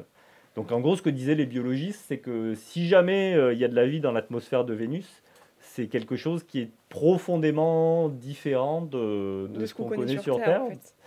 Et par ailleurs, eux, euh, ils trouvent que la vie sur Terre, c'est le chemin le plus logique, en quelque sorte, vers la vie. Ils sont pas du tout surpris que la vie sur Terre soit basée sur l'eau liquide. C'est effectivement l'eau, la molécule complexe la plus abondante de l'univers. Ouais. C'est-à-dire que c'est euh, euh, l'hydrogène qui est l'atome le plus abondant de l'univers et l'oxygène qui est l'atome un peu complexe, un peu lourd, le plus abondant. Euh, la chimie sur le carbone aussi, c'est pareil. Le carbone, c'est un atome qui a des propriétés très particulières et, on- et- et que n'ont pas d'autres atomes. Il y a le silicium qui est un peu similaire, mais le silicium, il y en a beaucoup, beaucoup, beaucoup moins que du carbone dans l'univers. Donc, euh, C'est aussi. c'est aussi Ouais, plus compliqué. Et en fait, euh, les, les biologistes, pour eux, ils sont pas surpris en fait que la vie terrestre euh, ait cette forme. Quand on regarde les propriétés physiques, euh, biologiques et chimiques euh, de la vie, la vie est vraiment allée au plus simple, au plus abondant, au, au- Sur Terre, en tout cas, Voilà, sur cas, Terre. ouais. Euh, J'ai une question par rapport à ça, justement. Euh, c'est l'occasion de te poser, je trouve. Sur la vie qu'on connaît sur Terre, elle est basée sur les chomps, donc carbone, hydrogène, oxygène, azote, soufre Et phosphore. et phosphore aussi. Ouais. Euh, est-ce qu'on pourrait imaginer, est-ce que ce serait possible, à ton avis, euh, qu'il y ait une forme de vie qui soit basée sur d'autres atomes, même si visiblement ce serait du coup le chemin le plus logique que d'avoir la forme de vie qu'on a aujourd'hui. Est-ce qu'on serait capable aussi de reconnaître une forme de vie qui serait différente, qui serait basée sur d'autres sur d'autres briques? Alors sur la première question, moi j'ai pas du tout d'expertise là-dessus. Oui. Par contre, je peux Oui, répéter très très ce que les biologistes m'ont dit. que, Oui, en gros, leur réponse, euh, c'est euh, non. Ok, Euh, Trop complexe. Ouais, en fait, euh, c'est vraiment difficile, d'après eux, d'imaginer des alternatives efficaces euh, à justement cette forme vraiment fondamentale. hein. Il peut y avoir différentes euh, façons de faire du métabolisme et tout ça dans les mais à chaque fois, c'est carbone, hydrogène, euh, soufre, Ce serait vraiment le, azote, le plus phosphore. efficace et le. et le plus abondant. D'accord. Euh, c'est très dur euh, d'aller faire de la chimie avec des molécules qui sont très peu euh, abondantes en fait. hein. Ok. Et bah, je trouve que on peut faire une transition aussi avec ton, ton domaine d'expertise après, après Vénus et, euh, et la phosphine. Justement, donc tu es astrophysicien, tu es spécialisé sur euh, les exoplanètes et les naines brunes qui sont des astres. Donc, je peux peut-être te laisser euh, expliquer ce que c'est qu'une naine brune, la différence entre une étoile, une naine brune, une exoplanète. Et puis on peut, on peut essayer de dézoomer comme ça pour aller chercher, euh, maintenant partir du système solaire et aller chercher des, d'autres mondes, voir ce qu'il en est de, de ces autres mondes, de l'habitabilité par exemple. Euh, mais déjà, est-ce que toi, tu as fait ta thèse sur les naines brunes Mhm. Euh, Est-ce que tu peux nous expliquer ce que c'est que cet astre un peu étrange Euh, et, puis, et puis la différence avec une étoile et une planète, par exemple Alors pour parler un peu des naines brunes, il faut définir ce que c'est une étoile et ce que c'est une planète. Une étoile, c'est une boule de, de gaz qui s'est formée à partir, donc qui est une boule de gaz très dense. hein. Le, le Soleil fait quasiment un million de fois la masse de la Terre.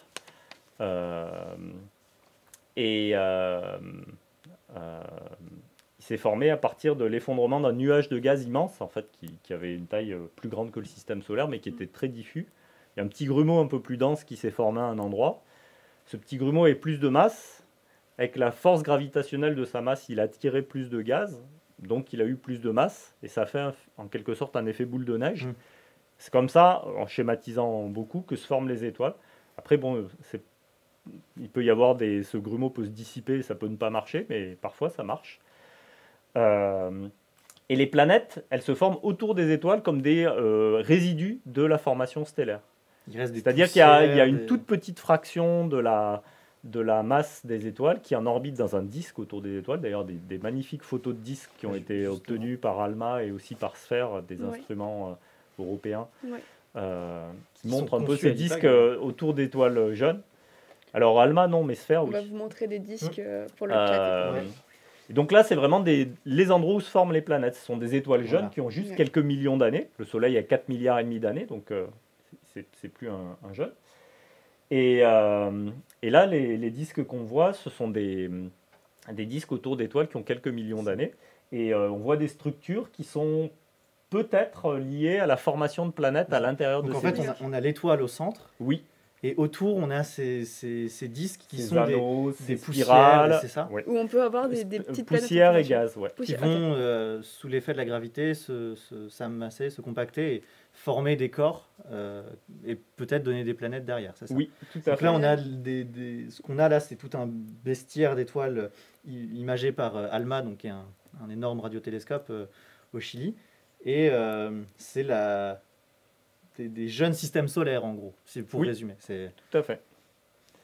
C'est vachement différent comme, euh, comme morphologie, un petit peu. Il y en a, ils ont beaucoup de formes différentes.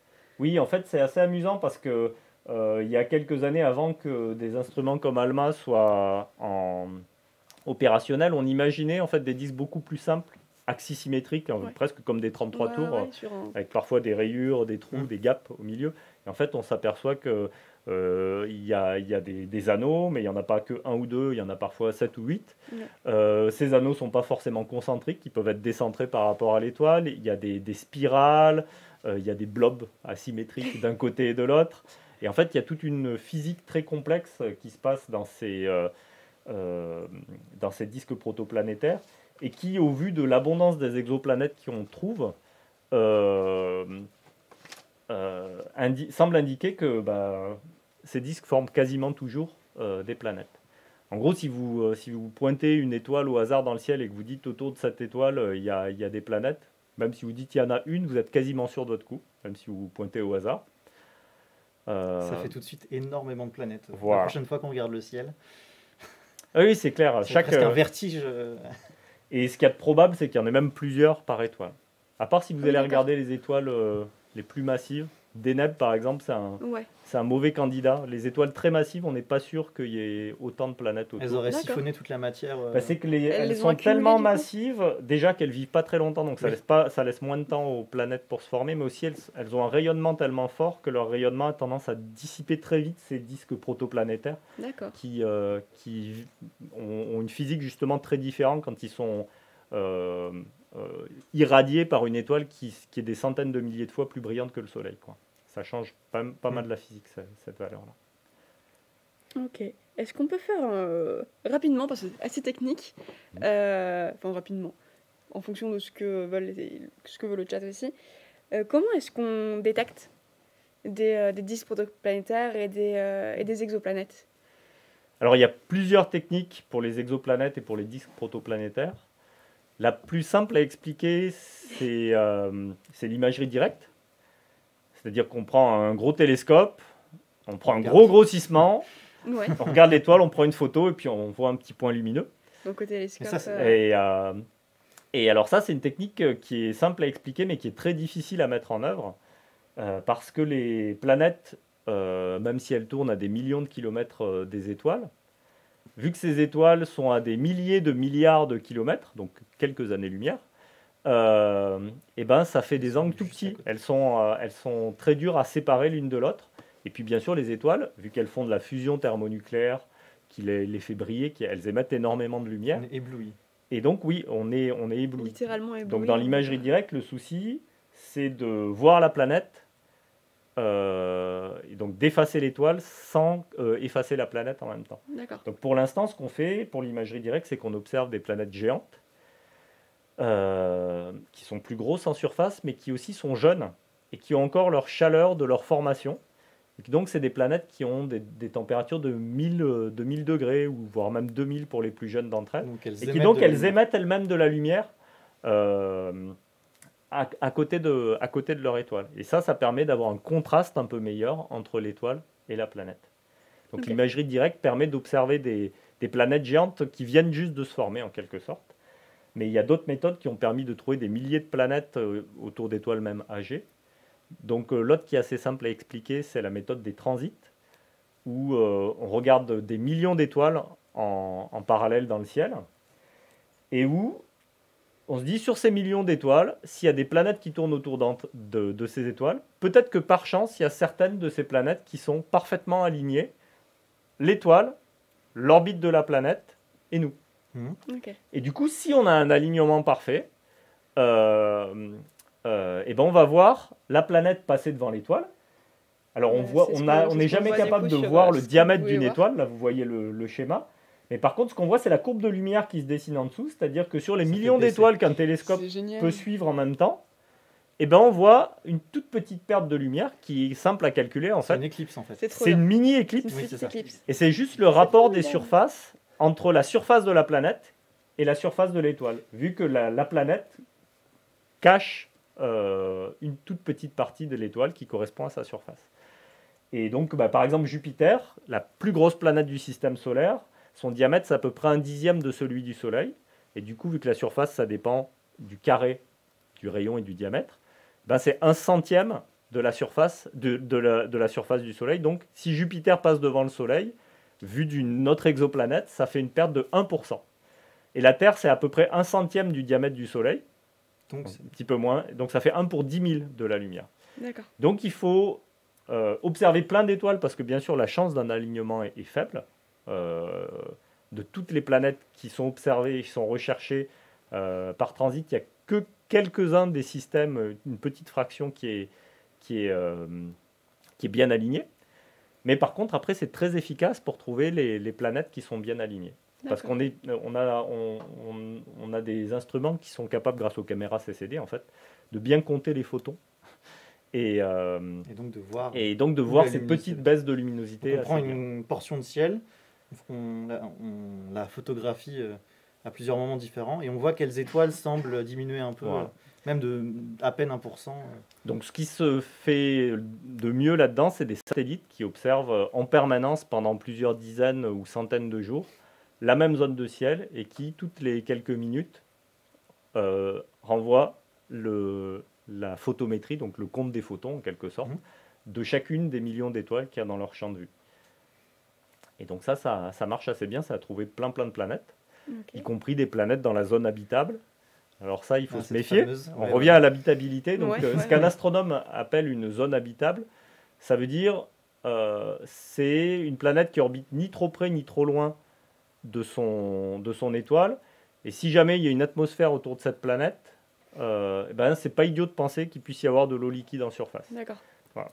Par exemple, dans le système solaire, euh, la Terre est dans la zone habitable, mais Mars, Mars est aussi, aussi. dans la zone habitable de la, du Soleil, mais elle n'est pas assez massive actuellement pour, avoir une atmosphère. atmosphère assez grande et de l'eau liquide. Donc, euh, donc cette zone habitable, c'est une définition très large, mais euh, pour l'instant, on a en- encore beaucoup de mal à être euh, capable de, de vérifier qu'il y a de l'eau liquide sur les planètes dans la zone habitable. Donc on fait juste des hypothèses sur euh, leur, leur chance d'avoir de la euh, de l'eau liquide en surface pour l'instant. Et l'objectif après, c'est euh, en fait d'aller rechercher dans leur, euh, dans, dans leur spectre. Donc encore, on, on regarde la lumière qui, qui vient des, des planètes à côté des étoiles. Donc là, ça va Mm. euh, faire appel à, à la lumière directe des, des planètes. Euh, et, euh, et on va voir les, les, les petits trous dans leur lumière que laissent les molécules présentes dans leur atmosphère. Donc on va trouver... Ce qu'on euh, voyait tout à l'heure, les raies d'absorption. voilà, Ouais, comme la phosphine, D'accord. ça. Ok. Donc là, qui vraiment, laisse euh, un, un trou à, à quelques longueurs d'onde particulières. Euh, la vapeur d'eau, on en trouve autour de plein de planètes parce que, comme j'ai dit, l'eau, c'est un, un l'élément, la molécule complexe la plus abondante de Oui. l'univers. Voilà, c'est ce qu'on voit à l'image euh. Voilà, voilà, on a des ouais, raies ça c'est un spectre. Et donc il y, a des- il y a des bandes noires et ces bandes noires correspondent à des, à des molécules particulières, à des, à des À des liaisons. Ouais, moléculaires particulières. Et donc là, euh, on est capable de faire de la spectroscopie euh, autour des, des planètes géantes jeunes. Ouais. Donc on, on détecte euh, de la vapeur d'eau parce que il y en a partout. hein. Dès qu'on baisse assez la température pour que des molécules se forment, les premières molécules qui se forment, c'est de l'eau. Mais ce qu'on voudrait chercher plus tard, c'est de l'eau liquide. Ça, c'est euh, Ça, beaucoup C'est ça qui est plus, plus important pour la vie. Ouais. Ça fait partie des, des- Des des conditions. choses où les biologistes nous disent euh, il faut absolument un solvant euh, pour que la vie puisse faire euh, sa, sa cuisine. Mm. Et euh, il y a peut-être d'autres solvants que l'eau, mais l'eau est encore une fois le, le plus Le abondant et le plus évident. Celui qui a Euh, le plus de chances d'exister aussi en dehors. euh, Voilà. Il est à la fois très abondant et il a aussi des, particuliers très- des, des propriétés très intéressantes pour la vie. Enfin, que la vie a su exploiter en tout cas. Donc, tout ce qui est, euh, tout ce qui est du coup analyse d'atmosphère et tout, c'est avec les spectres qu'on a vu tout à l'heure qu'on va les faire. Donc c'est un peu comme ça qu'on va faire un peu de la chimie sur des exoplanètes sur lesquelles on, enfin auxquelles on peut pas accéder en fait, du moins pas tout de suite. Euh, J'ai vu aussi qu'on avait pas mal de, de résultats de recherche qui montraient un peu la structure interne de certaines exoplanètes.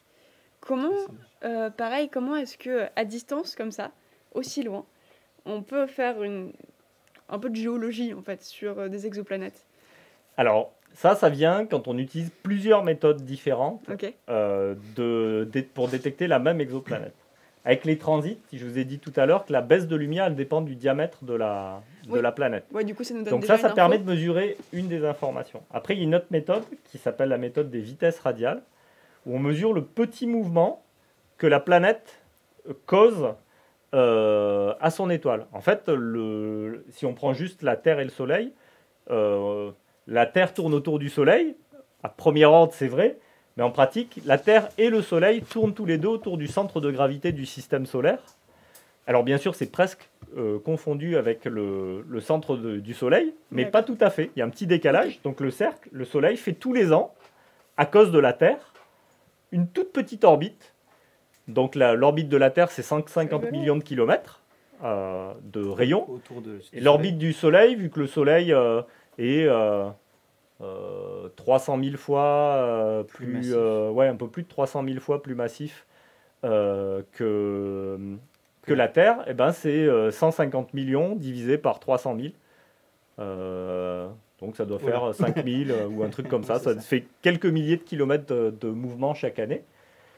Et, euh, et ce qu'on mesure avec les vitesses radiales, c'est pas ce mouvement, c'est pas l'orbite directement, mais c'est que si une, euh, un corps tourne, il a une vitesse.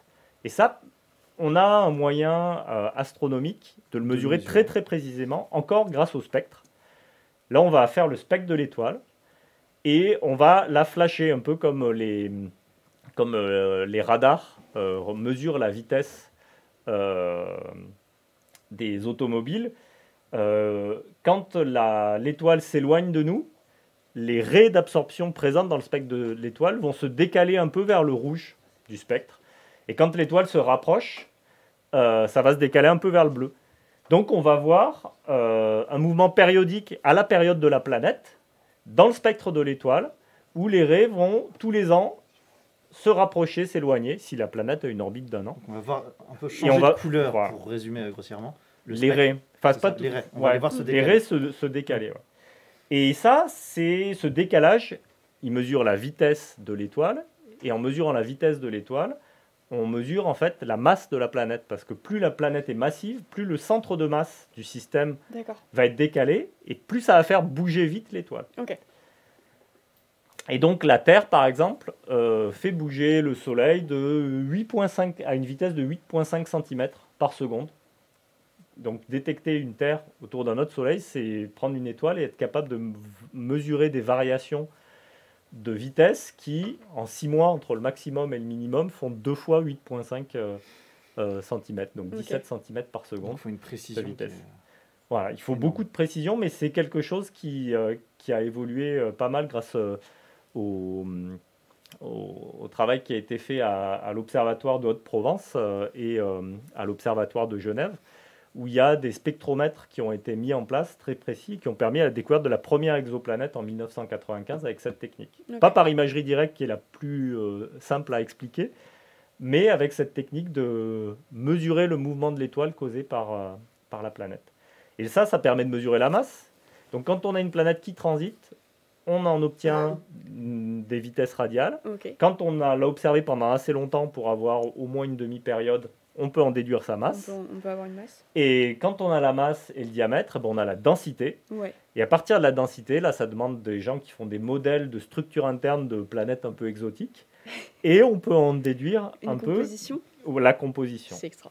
Et alors, ce qu'il y a d'amusant, c'est qu'on a des compositions qui sont différentes de celles qu'on a dans les planètes du système solaire. Il y a à la fois des planètes qui ont des compositions très similaires, ouais, qui ressemblent. Euh, et euh, par exemple, il y a, il y a probablement euh, des planètes océans où l'eau est un composant majeur euh, de leur masse. Sur, Ok. le, sur la Terre, euh, l'eau, je crois que c'est euh, c'est moins du pourcent Mhm. de la masse de la Terre. de la masse Il y a beaucoup d'incertitudes parce qu'il y a un gros réservoir d'eau potentiel dans le, dans le manteau de, de la Terre, mais on ne sait pas exactement combien il y en a. Mais c'est très faible. Mhm. La, Terre est une planète sèche, en fait, en quelque sorte, Paradoxalement. paradoxalement. Moins que Vénus, mais, euh, mais plus que, que de Uranus, Neptune, euh, qui, elles, euh, sont, ont beaucoup d'eau dans leur, euh, dans leur masse. Et on voit des planètes d'une masse similaire à celle de la Terre, qui ont une densité proche de 1. Donc ils peuvent être des planètes sont- rocheuses, pas gazeuses, enfin telluriques, pas gazeuses? Là, oui, alors là, du coup, c'est un peu bizarre, c'est pas vraiment tellurique, elles ont probablement un- un noyau rocheux, Et tout autour Et de tout autour, plusieurs euh, centaines, voire milliers de kilomètres d'eau, c'est ça? Voilà, c'est ça. Tellement que, Ouais. que les océans qui seraient à la surface de ces planètes, d'après les modèles, feraient tellement de pression sur les- leurs couches internes que leurs couches internes se mettraient sous forme d'une glace exotique. Et donc ce seraient des planètes recouvertes d'eau sur des centaines, je crois que c'est autour d'un millier de kilomètres. Le, De- bon après ça dépend exactement de la, la densité de la planète, mais c'est de l'ordre de grandeur d'un millier de kilomètres d'océan et après ça fait, euh, ça fait de, la, de la glace. Oui, nous, avec nos 11 km à la, fond- à la fosse des Mariannes, on- Voilà. on est un peu minable à côté. Ouais. Tu parles de glace exotique. Qu'est-ce que, qu'est-ce que tu veux qu'est-ce que Alors tu entends euh, par c'est juste des structures cristallines de Euh, glace. Ok, qu'on- qui sont un euh, peu qui particulières. sont, qui sont euh, différentes, mais qui s'obtiennent du coup à haute température et haute pression. Et haute pression, du coup. du Donc coup, c'est pas, si c'est pas à c'est 0 juste, degré euh. Celsius. Si et, t'as une euh, grosse masse d'eau au-dessus, Voilà. logiquement, la pression que t'as en dessous, elle est assez vénère. Du coup, tu... ok, du coup, t'as vraiment une grosse Si on appuie suffisamment sur de l'eau liquide, on finit par la transformer en glace euh, en appuyant suffisamment fort. Oui. Ok, tout à fait. Et hum, toi, euh, à titre personnel, quand tu vois euh, des planètes, que ce soit une annonce de planète ou même quand, enfin, d'exoplanètes, ou même quand tu participes à la découverte d'une d'entre elles, Ouais. est-ce que c'est quelque chose qui t'étonne leur exotisme ou la- la- le fait que ce soit des mondes, euh, c'est presque de la science-fiction parfois. Tu parles d'une planète océan, c'est quelque chose qu'on ne connaît pas forcément dans le système solaire. Et est-ce que tu en soupçonnais, avant d'être chercheur, tu en soupçonnais la, diversité de ces mondes? Est-ce que c'est quelque chose qui t'étonne? Ou alors tu dis, bah, c'est normal, et voilà, c'est... Euh, bah, c'est quelque chose qui est, euh, qui est assez euh, schizophrène, c'est-à-dire que moi, en tant que chercheur, je me suis tout le temps intéressé aux données que j'avais et à regarder ce qu'il y avait dans ces données. Après, dans les livres de science-fiction, il y avait plein d'idées de planètes euh, exotiques. euh, et qui, à l'époque où les livres sont sortis, pouvaient paraître euh, assez fantaisistes. Ah. Ouais, Et en fait, il y a beaucoup, de, ces euh. planètes euh, pour lesquelles on a maintenant, euh, en améliorant les techniques, Ouais. trouvé des équivalents. On a trouvé des planètes qui tournaient autour de deux soleils, comme Tatooine dans, Star, Wars. Après, on n'a pas encore trouvé de planète habitable, à ma connaissance, qui tourne autour de deux soleils. Donc, c'est Mm. pas tout à fait, c'est pas tout pas à encore fait. Tatooine. pas encore tout à fait Tatooine. Mais on a aussi trouvé des planètes qui tournent tellement près de leur étoile que des planètes rocheuses qui tournent Ouais. tellement près de leur étoile que leur surface est probablement recouverte de lave parce qu'elles bah oui. sont chauffées par l'étoile au point où ça dépasse le point de fusion Ouais. euh, du, des silicates et donc euh, elles ont probablement en plus elles sont comme la Lune qui a qu'une toujours la même face qui regarde la Terre à cause d'effets de marée. Mm. Ces planètes, l'étoile les a les a loquées, les a bloquées en effet de marée avec une seule face euh, qui tourne. Donc il y a une face qui est en, en fusion et une autre face qui doit être complètement gelée parce qu'elle voit jamais de Bah lumière. ouais, Donc c'est- c'est c'est des choses assez exotiques. euh, c'est super encore. intéressant. Ce qu'il y a d'amusant avec les plus de 4000 ou 4500 exoplanètes qu'on a découvert à, à ce jour, c'est qu'on se rend compte à la fois que les planètes du système solaire n'ont rien d'extraordinaire, c'est-à-dire qu'il y en a, il y en a, il y en a plein des similaires. On Ouais. est En gros, dès qu'on est capable, euh, avec les limites de nos techniques de détection, de détecter des planètes du type des, des planètes du système solaire, on, on en trouve. Mais euh, le système solaire est loin de représenter toute la diversité des exoplanètes qu'il y a dans l'univers. Notamment une des, des types d'exoplanètes les plus abondants de l'univers, qui sont les super-terres, donc des terres, donc des objets telluriques qui font plusieurs fois la masse de la Terre. Ouais. Il n'y en a aucun dans le système solaire. D'accord. Donc ça, C'est euh, Dans le système solaire, en fait, on a en gros deux types de taille de planètes. Ce serait ça. Ce serait des planètes telluriques qui sont très petites par rapport la aux Terre est la plus grosse des planètes telluriques. dans a des, planètes qui font plusieurs fois la masse de la Terre et qui sont pourtant euh, euh, telluriques, qui sont euh, rocheuses. Enfin, il y, a un- il y a un socle en tout cas. Il y a même un- on a même observé une continuité en rayons entre des planètes qui font euh, une fois et demie à deux fois le rayon de la Terre et donc plusieurs fois sa masse, euh, qui ont une densité de planètes rocheuses, et des planètes qui ont des rayons similaires, mais euh, qui ont une masse de juste quelques fois celle de la Terre, et qui ont du coup des densités de, de Neptune ou d'Uranus. Des planètes gazeuses. Voilà, des planètes gazeuses, et qui sont donc des mini-Neptunes. Euh, Il y a des super terres, des mini. voilà, c'est ça. C'est parce qu'on utilise un vocabulaire qui vient du système solaire, mais qui ne représente pas la, la diversité qu'il y a dans l'univers, en fait, qui est, qui est hallucinant. Enfin, dès qu'on a un nouvel instrument, euh, qu'on améliore les limites de détection de notre capacité d'observer l'univers, on est surpris par euh, ce qu'on découvre. Ça. On découvre, on se dit, ah ben, on n'osait pas aller jusque-là. Dans... On n'osait pas penser que ça existait, c'est ça? Bah après, euh, c'est aussi naturel euh, quand on analyse des données scientifiques euh, de pas essayer de leur faire dire ce qu'il n'y a pas dedans. Quoi. C'est ça. On peut imaginer des choses, mais c'est c'est plus de la science. Ouais, ça devient de la Après, euh, c'est intéressant de- d'imaginer des choses et d'aller euh, concevoir des programmes scientifiques pour essayer de démontrer, voir s'ils existent ou D'en pas. faire des hypothèses. En fait. Voilà. Ouais. Faire une hypothèse et la tester. Ouais, tout à fait. Comment tu te sens, toi, euh, quand tu découvres une nouvelle exoplanète ou quand il y a des travaux qui aboutissent, qui... Alors, par exemple, quand tu observes une, euh, un corps Mhm. et qu'il se trouve plusieurs fois et qu'il se trouve que, euh, bout d'analyse, au bout de travail, ça peut être une exoplanète et euh, ça procure quoi exactement comme sensation? Parce que ça peut être un peu comme découvrir une sorte de monde, en fait. Du coup, ça peut être assez... euh, Est-ce que... Alors, un ce qu'il y a de marrant, c'est l'enquête, en fait. Ouais, Euh, entre les premiers doutes, euh, euh, les confirmations, les fausses joies, parce que Il y en a. faut dire que la plupart des, des candidats exoplanètes euh, qu'on trouve dans nos recherches, eh ben, on se rend compte que en fait, Oui. c'est pas des candidats et c'est Ouais. pas des exoplanètes, c'est autre chose. La douche En imagerie directe, c'est souvent des étoiles d'arrière-plan qui sont par malchance euh, très Le proches de l'étoile qu'on observe. Et, euh, et vu qu'elles sont plus loin, elles apparaissent plus faibles. Elles ont la même luminosité que celle qu'on attend d'une exoplanète. Mm. Mais c'est pas ça. Et puis il y a aussi des, des problèmes d'analyse de données. hein. Parfois, on voit un blob lumineux, on se dit est-ce Ouais. que c'est une exoplanète, est-ce que c'est pas une exoplanète? Et, euh, et puis, euh, On refait on, la photo. on- et- on- on refait l'analyse ou bien on obtient de nouvelles données. Un bel exemple, c'est euh, un système d'exoplanètes qui a été imagé avec Sphère, euh, qui s'appelle PDS-70, qui est une exoplanète très jeune qui a été détectée au milieu de son disque euh, de formation planétaire, son disque protoplanétaire. Ça, c'est la première fois qu'on voit la planète et le disque en même temps. Donc, en général, on voit soit une planète former, alors que le disque est parti, Hmm. ouais, soit un disque avec des traces de planète dedans, mais sans voir la planète. Ouais. Et là, on voit les deux. Donc, c'est vraiment la planète en formation. À l'échelle d'une étoile ou de, même d'une planète, c'est un moment très court la formation d'une planète où elle va euh, amasser toute la matière et faire le vide autour d'elle, c'est ça? Ben, les planètes géantes, surtout, elles se forment à, à une échelle très rapide pour l'astrophysique, c'est quand même euh, l'ordre d'un million d'années. hein, mais C'est euh, très court même. mais en c'est très court en astrophysique. ouais. Et cette, euh, étoile euh, PDS 70 autour de laquelle on a trouvé une planète, il y avait un blob lumineux un peu plus proche de l'étoile, euh, où on se demandait si jamais c'était du signal ou du bruit, mais dans nos données, c'était euh, vraiment pas assez lumineux.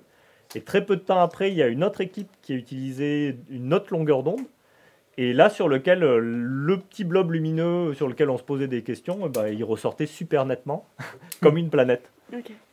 Et du coup, bah, ça, c'est juste euh, une autre longueur d'onde.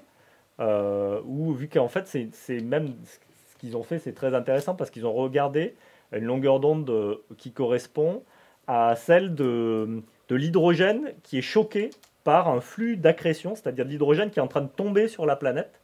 Et donc ça, les étoiles, quand elles sont en train de se former, on peut voir l'hydrogène qui tombe dessus à cause de cette raie encore en spectroscopie euh, qui émet beaucoup euh, lorsqu'il y a euh, la matière, le gaz qui tombe sur l'étoile en, en formation. Quoi. Et là, c'est la même chose sur la planète en formation. On peut voir donc la signature de, de la planète géante qui est en train de, de grossir avec le gaz qui tombe à grande vitesse dessus, qui crée un, un point chaud avec de l'hydrogène excité. on assiste à la naissance d'une étoile. Bah là, c'est d'une Enfin, planète, mais planète, oui, pardon, c'est oui, tout à fait en, ça. En, en direct en fait. Oui, tout à fait, ouais. Chose qu'on peut pas observer dans le système solaire. Non, effectivement, ça, n'arrive pas tous les jours. C'est assez peu fréquent. Est-ce qu'on. Ça nous fait un peu plus d'une heure et demie de live? Il y avait, il y avait une question. euh, moi, je trouve que ça, ça, ça peut faire une bonne conclusion au live. Ouais. Alors, c'était une question à la base sur, euh, sur Elon Musk euh, et son idée de coloniser encore, ouais. Mars. Euh, est-ce que c'est plausible ou est-ce que c'est juste une idée Forcément de faire réagir sur Mars, à moins que tu aies envie, parce que je c'est pas forcément le- ton domaine d'expertise. Mais un fantasme aussi, c'est de dire euh, pourquoi. et- Enfin, c'est une question pourquoi est-ce qu'on étudie les exoplanètes Ouais. Euh, pourquoi est-ce qu'on va chercher si loin, à- parfois à des centaines d'années-lumière de nous, alors que ce sont des distances qui sont euh, infranchissables pour des moyens techniques, même évolués.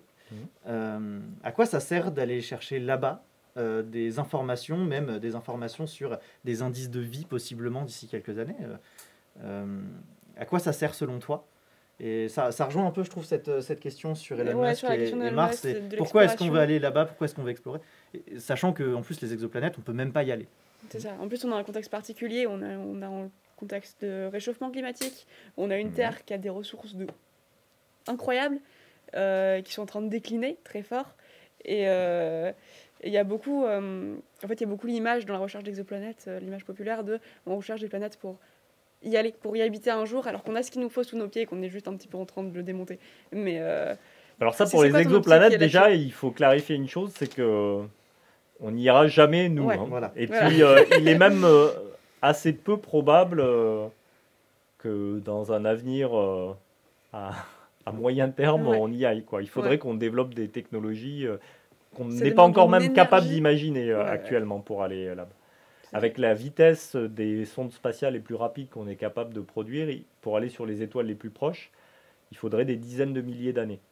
D'accord. Et alors après, construire un vaisseau spatial qui est fiable pendant des dizaines de milliers d'années avec des gens qui vivent pendant des Qui dizaines de milliers d'années, euh, il, c'est faut, bon. il faut un carburant, ça, donc une, voilà. énergie, euh, une énergie assez incroyable qu'on peut Mm. pas fournir avec les réserves. euh, Ah ben là, là je parle de notre technologie euh, Ouais, ouais. actuelle, hein, de, Ouais, ouais. de ce qu'on fait de mieux de notre technologie. Mais du coup, C'est juste qu'avec le carburant qu'on a, on accélère, on va jusque le max de vitesse qu'on peut. Puis après, on ralentit et autant. puis, enfin, on non, on ralentit pas. Oui.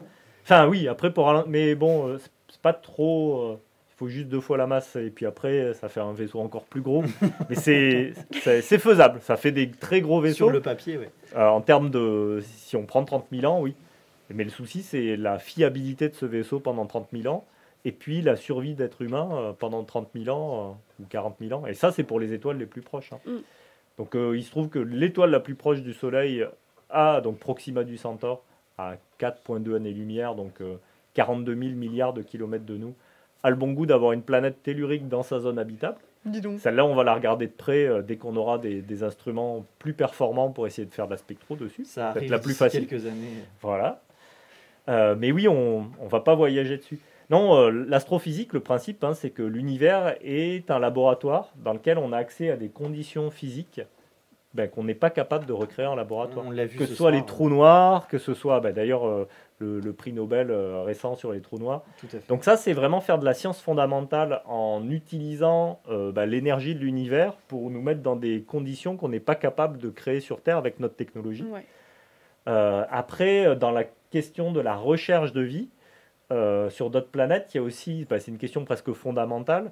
Euh, à l'heure actuelle, il y a, euh, on ne peut pas, avec l'existence de vie sur Terre, euh, savoir si la Terre est la seule planète habitée de l'univers ou si, euh, dès qu'il y a une planète dans sa zone habitable, et on sait qu'il y en a plein, il y en a des milliards, voire même des centaines de milliards dans notre galaxie, euh, ben, en fait, la zone habitable, ben, en général, il y a de l'eau, voilà, et puis en général, quand il y a de l'eau, il y a de la vie. Peut-être que ça se passe comme ça, Peut-être que la et qu'il y a des milliards de planètes habitées dans l'univers, mais actuellement, on ne sait sait rien. pas si jamais il y a une planète habitée dans l'univers ou des milliards et des milliards. Et ça, c'est le problème de- du paradoxe anthropique de Anthropos l'homme, Ouais. que forcément, vu que nous, on vit et qu'on se pose cette question euh, de la vie, on est forcément sur une planète habitable. Ouais. Et euh, même s'il n'y a qu'une seule planète habitable dans l'univers, les espèces vivantes qui se posent la question de la vie sur notre planète seront sur cette planète avec 100% de chance d'être sur une planète habitable ouais. par construction. Donc statistiquement, on ne peut pas utiliser la Terre. Et, euh, et donc pour euh, euh, voir si la vie est commune sur d'autres planètes, il faut voir s'il y a d'autres planètes qui peuvent se former. Ça, ça on ne savait pas il y a 20 ans ou 30 ans. Maintenant, on sait. On sait que des planètes euh, euh, telluriques, il y en a plein. Des On planètes telluriques dans la zone habitable, on sait qu'il y en a beaucoup. Donc on progresse dans, dans cette question. Mais par contre, l'é- l'émergence de la vie, on ne sait pas encore exactement comment ça s'est passé. Les biologistes ont plein d'hypothèses, mais ils n'ont ils ont rien de, de sûr. Et on n'a jamais été capable de refaire euh, surgir la vie ex nihilo euh, expérimentalement.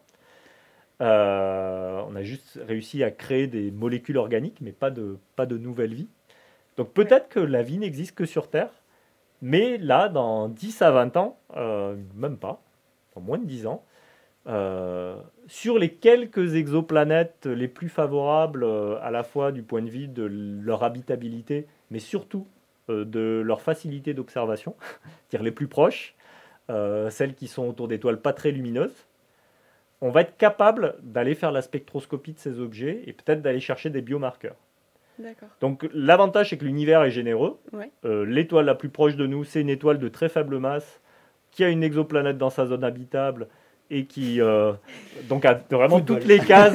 La toutes les- chance. Ben, on a de la chance, mais aussi il, y a- euh, il se trouve que les, les étoiles de faible masse, on se rend compte qu'elles forment plein de planètes telluriques. Ouais. Elles sont pas, elles n'ont pas de disque de poussière assez gros pour faire des planètes faire géantes, planètes ou alors c'est très rare. Mais par contre, elles forment des pochetés de planètes telluriques.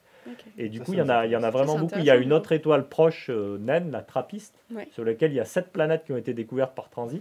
Il y en a plusieurs beaucoup. dans la zone habitable de, de leur étoile. Et pareil, c'est des, des- des voisines du Soleil. Quoi. Donc on, on va pouvoir les étudier, celles-là. Alors euh, si jamais, bien sûr, la vie, elle surgit que sur une planète sur 1000, sur une planète habitable sur 1000, dans 10 ans, on n'aura pas de réponse, parce qu'on va être capable d'en observer 5 ou 6. Donc il faudra vraiment qu'on ait du bol, s'il n'y a qu'une chance sur 1000. Mais si la vie abondante comme sur Terre, capable de modifier la chimie de son atmosphère sur Terre, euh, 21, 21% de l'atmosphère, c'est la vie, quoi. C'est l'oxygène. Et, euh, et euh, si on est capable de trouver euh, des planètes où, s'il existe des planètes où la vie modifie la chimie de leur atmosphère et que ces planètes sont favorables à observer, que par bol ou par abondance, elles sont juste à côté de nous, on sera probablement capable de le dire avec la prochaine génération de télescopes géants. C'est trop intéressant. C'est assez fou. Après, euh, science-fiction. En- Ouais, ouais, ouais. Si ça se trouve, euh, comme je vous dis, euh, il n'y a qu'une seule planète dans l'univers, puis on pourra chercher encore des siècles Oui. sans en trouver. Ou bien juste euh, la vie est relativement rare et il va falloir, Bien attendre encore longtemps. avant d'être capable d'avoir un échantillon de planètes habitables gros, euh, J'ose une question aussi. Dans le système solaire, on- rien que dans le système solaire, on en parlait tout à l'heure, il y a des candidats à la vie, ne serait-ce que passée avec Mars, mais il y a aussi euh, des lunes, euh, notamment Encelade et Titan autour de Saturne, qui sont euh, de- de- des candidates assez sérieuses pour abriter une forme de vie. En tout cas, il y a des théories qui essayent de, comprendre là-dessus. Ce sont des lunes. Est-ce que les exoplanètes, on imagine que si on a des lunes dans le système solaire, il y en a probablement sur des exoplanètes. Déjà, est-ce qu'on en a déjà observé des lunes?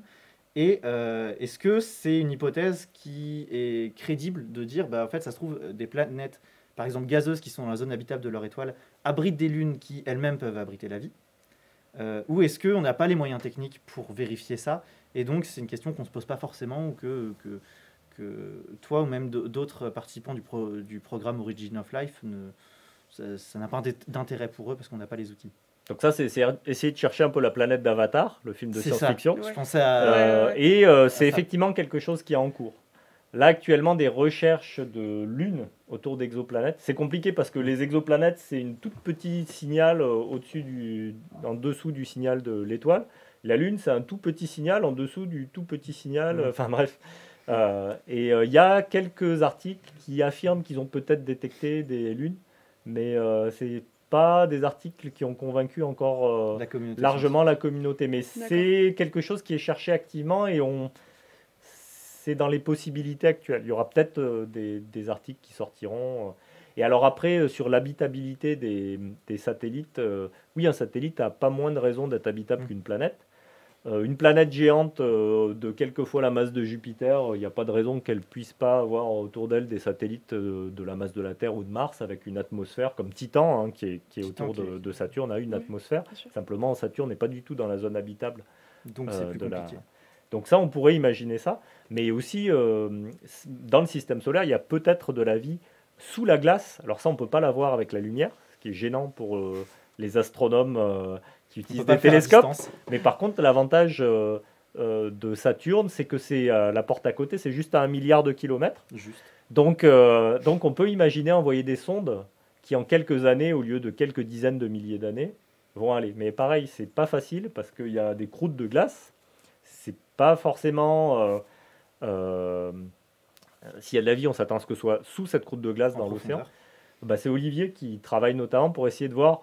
On, on sait qu'il y a des geysers euh, qui euh, éjectent de l'eau de ces océans, au moins sur Encelade, à la surface de la glace.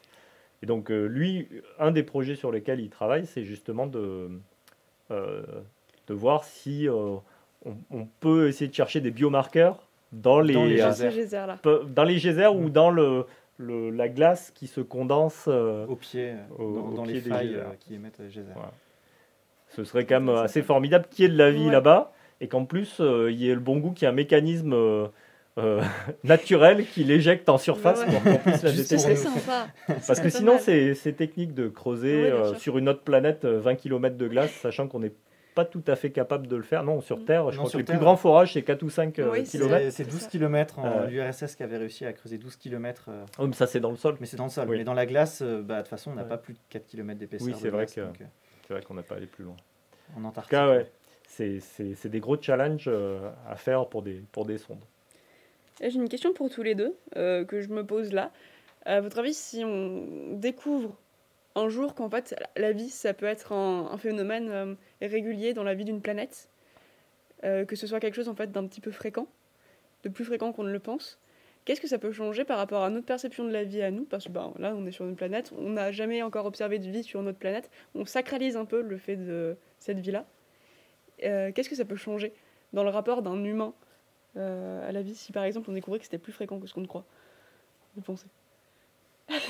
C'est clair que ça, question. ça, Ça peut, remue. ça peut changer beaucoup de choses. Ouais. euh, euh, c'est assez amusant parce que euh, euh, c'est le, le Vatican qui a un service d'astrophysique euh, Oui, avec des vrais, des vrais astrophysiciens. et qui, après la découverte des, des premières dizaines d'exoplanètes, s'est posé explicitement Ouais. la question, en quelque sorte, sur euh, euh, qu'est-ce que, est-ce que ça remettrait en question le, le dogme autre? Et non, il disait que euh, ça, ça posait pas de souci euh, C'est trop intéressant. euh, du point de vue du, du dogme catholique. C'était pas un souci que les exoplanètes, euh, si elles existaient, qu'il y ait de la vie, fallait pas. Je crois que le terme c'était fallait pas brider la liberté créatrice de Dieu. Donc les religions sont tout à fait capables d'admettre ça et de, et de vivre avec ça. Et au moins au niveau personnel, ce qui me fascine, euh, bah, c'est le l'ouverture des possibles. Ouais. Quand on voit la diversité de la vie sur Terre, qui a un environnement qui est banal comparé aux exoplanètes, enfin, qui, qui a il y a plein de milieux différents sur Terre, mais on peut imaginer des, des biosphères complètement différentes ailleurs sur d'autres planètes.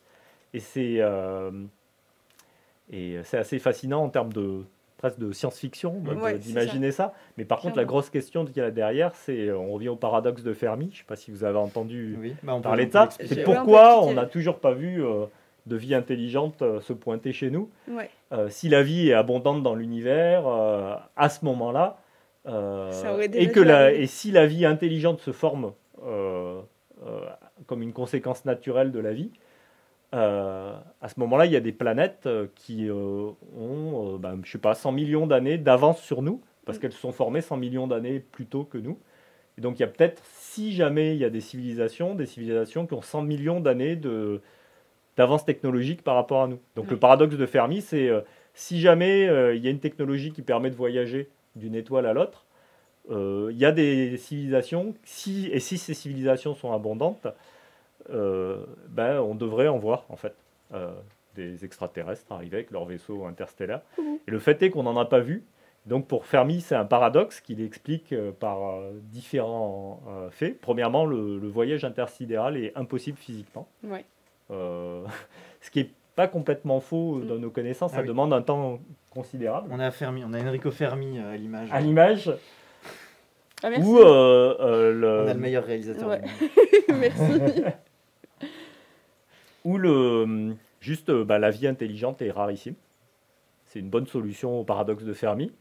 Ou bien les civilisations ne durent pas assez longtemps, ou s'autodétruisent, ou épuisent leur environnement trop vite euh, pour atteindre une technologie euh, de voyage euh, interstellaire. Donc c'est, un- une, les- idée euh, plus philosophique que scientifique. Mais en tout cas, si jamais on trouve que la vie est, est abondante euh, dans l'univers, ce qui n'est pas encore le cas, pour l'instant on, on l'a trouvé que sur Terre, même si on la cherche sur Mars, même sur Vénus et sur d'autres planètes. sont pourtant la porte à côté. Ouais. Mais, euh, mais c'est clair que si jamais on commence à trouver de la vie sur d'autres planètes, c'est, c'est- c'est la, la question de la vie intelligente qui va Qui va ensuite dominer. devenir de plus en plus euh, forte. Quoi. Et puis là, ça ouvre à d'autres questions. Après, il y a, y un argument euh, purement euh, chronologique sur la facilité que la vie émerge. C'est que sur Terre, qui a 4 milliards et demi d'années, euh, bah, la, la vie est apparue euh, Très très tôt. au début de Oui. l'histoire de la Terre. Tout à fait. ouais. Euh, il a fallu au, au plus, je crois que les traces de vie sur euh, ces centaines de millions 3,6 d'années, ouais. C'est 3,6 milliards d'années, mais il y en a qui sont encore plus vieilles, Mm. mais où, c'est encore euh, controverted, c'est un pas sûr encore. Mm. Euh, mais en tout cas, ça apparu au début de l'histoire de la Terre, la vie. Il a fallu quand même 4 milliards d'années de plus pour avoir de la vie multicellulaire, Ouais. ce qui est quand même utile pour concevoir des vaisseaux Pour- spatiaux, je ouais, pense. ouais. Euh, Bah, des bactéries. voilà. c'est- Donc c'est beaucoup plus dur d'a- d'arriver. euh, il a fallu beaucoup plus de temps à la vie sur Terre à devenir multicellulaire qu'à sortir du néant de, de, de- de la chimie minérale. Et euh, la vie intelligente, elle est apparue il n'y a pas très longtemps. euh, quelques centaines de milliers d'années si on, utilise euh, le feu, par exemple, comme première technologie. Quoi. Donc on peut peut-être être optimiste sur la, La la vie. vie sur d'autres planètes, peut-être.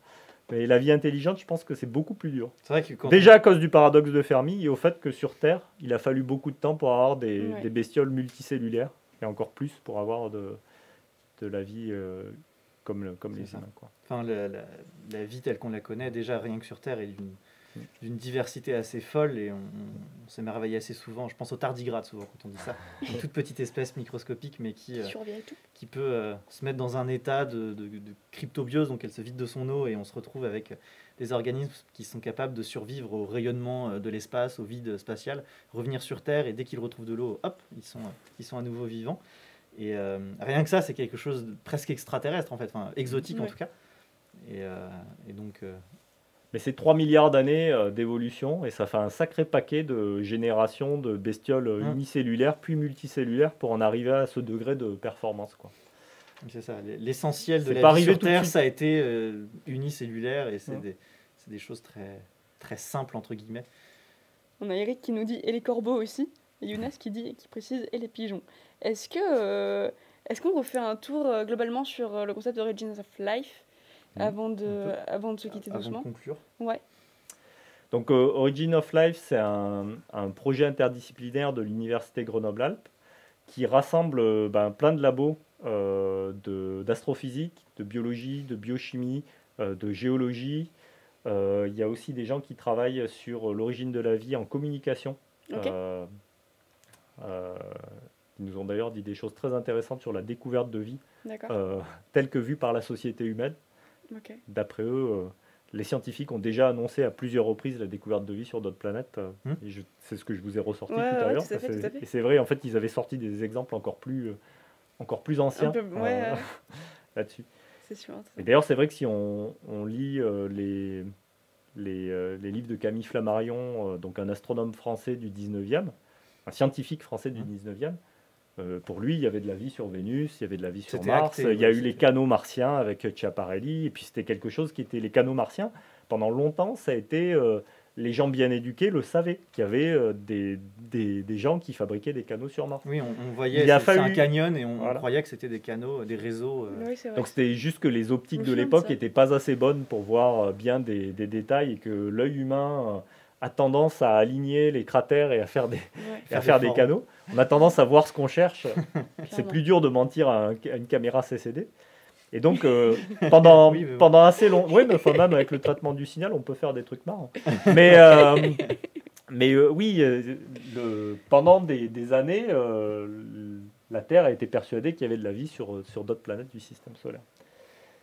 Et, euh, et donc oui, ça, ça, c'était un point de vue que, que j'avais pas vu, qui nous est venu de, des, des spécialistes de com du labo du Gressec à Grenoble, qui travaillent donc sur cette question en- en- en- de- des origines de la vie vue du côté euh, euh, communication, en fait, médias. Ouais.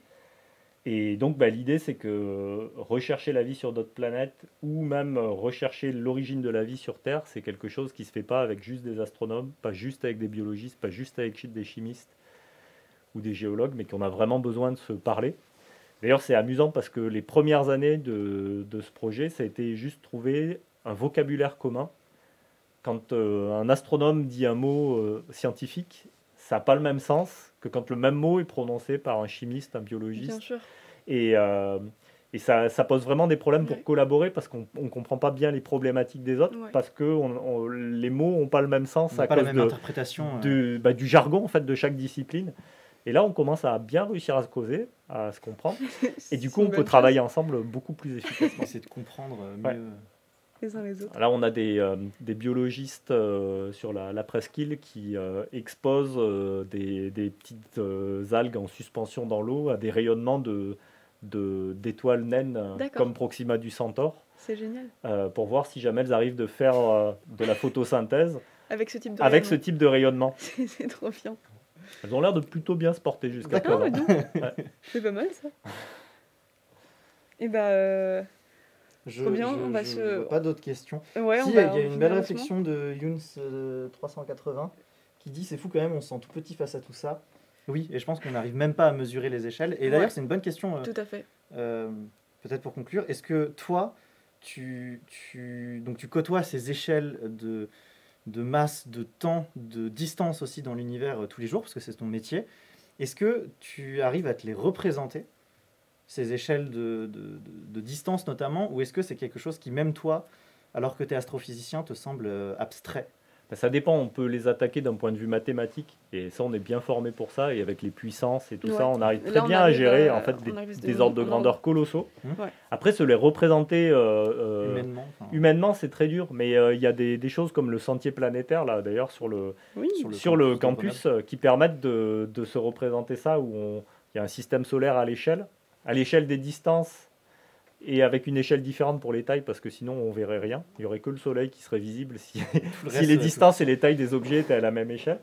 Et on peut voir bien les distances qu'il y a entre le système solaire interne, les, les premières planètes euh, du système solaire qui sont à quelques dizaines de millions de kilomètres les unes des autres, donc tout, tout près à l'échelle du système solaire. Et après, il faut marcher de plus en plus loin pour aller chercher Saturne qui est à 1 milliard, Uranus 2 milliards 8. Et pourtant, on est dans la très très très Dans le proche très, banlieue très de la proche. Terre. euh, Tout à fait. banlieue de la On Terre. parle même pas des, des autres étoiles. Bon, Eh ben, merci beaucoup, Ben, vraiment, euh, que ce rien, pour, euh, que ce soit pour l'interview et euh, pour l'accueil aussi, parce qu'il faut savoir que Philippe nous a accueillis depuis 17h donc, euh, au labo de l'IPAG euh, pour qu'on puisse installer tout, nos- tout notre matériel et, et tout ça, et pour qu'on puisse se préparer. Merci à Olivier aussi, du coup, juste avant, pour, pour cette participation. Et, Et puis, bah, merci, donc, merci à, à l'IPAG encore une fois pour nous avoir ouvert leurs locaux. Merci à toute l'équipe technique euh, qui est là derrière et qui a, malgré les soucis techniques, le retard, on s'excuse. euh, voilà, c'est notre premier live aussi. et on a ils eu sont de- trop forts, donc euh. Mais ils ont, ils ont géré. Le replay sera disponible sur notre chaîne YouTube. Tenez-vous au courant sur nos, nos réseaux sociaux, Twitter, Instagram, pour, pour voir tout ça. Ouais. Euh, et puis, euh, merci euh, Loïse pour cette euh, merci toi, fantastique animation. Merci aussi à, bah, aux 20 personnes qui étaient là tout le long parce que c'est un premier live. Ça n'a pas beaucoup de sens d'avoir déjà 20 27 on était au début, je crois. C'est- beaucoup pour un premier live qu'on fait là-dessus. Ouais. Du coup, merci beaucoup d'avoir suivi ça. Et merci aussi, je pense, à Simon et Sarah qui sont nos graphistes et qui ont créé tout le, toute la charte graphique de voilà, charte graphique de l'assaut plus les designs là que vous avez pu voir pendant le live et tout, qui ont fait un taf monstre et qui sont juste trop forts. Euh, ben et Théo qui sont au son là et qui ont trop bien travaillé. Euh, Olivier Baptiste et Dorian à la régie. Merci vraiment beaucoup pour votre travail et pour la fabrication des, euh, des lumières qui est absolument incroyable. Et, euh, et comme disait Quentin, ouais, on tient au courant pour un prochain live. On, On a plein d'idées. on a beaucoup d'idées. des expériences en live et tout. Oui. ne quittez pas. Et encore une fois, euh, on a besoin de, on a besoin, on a toujours besoin de gens différents investis dans l'assaut. Donc si ça vous intéresse à quelque niveau que ce soit, quel que soit votre niveau d'investissement que vous êtes prêt à mettre dedans, n'hésitez pas à nous contacter. On est très content d'accueillir des gens environ tout le temps. Et euh, Et puis, euh, une dernière chose, euh, on va essayer de d'éteindre un Ouais, jour ouais. important ça. Grenoble, donc Auroralp, on est sur Grenoble, d'essayer d'éteindre l'agglomération Grenoble un soir. C'est quelque chose qu'on travaille en ce moment avec Ouais. plusieurs autres personnes. Et donc, on espère pouvoir refaire un live à cette occasion, avec cette fois-ci des observations astro en, en direct, et que ce soit une, une belle petite fête. Donc, on vous tient au courant de tous ces projets. Et puis, à très vite. Bonne nuit. Reposez-vous bien et, euh, et portez-vous bien, surtout prenez soin de vous. Et voilà, à plus Des tard. bisous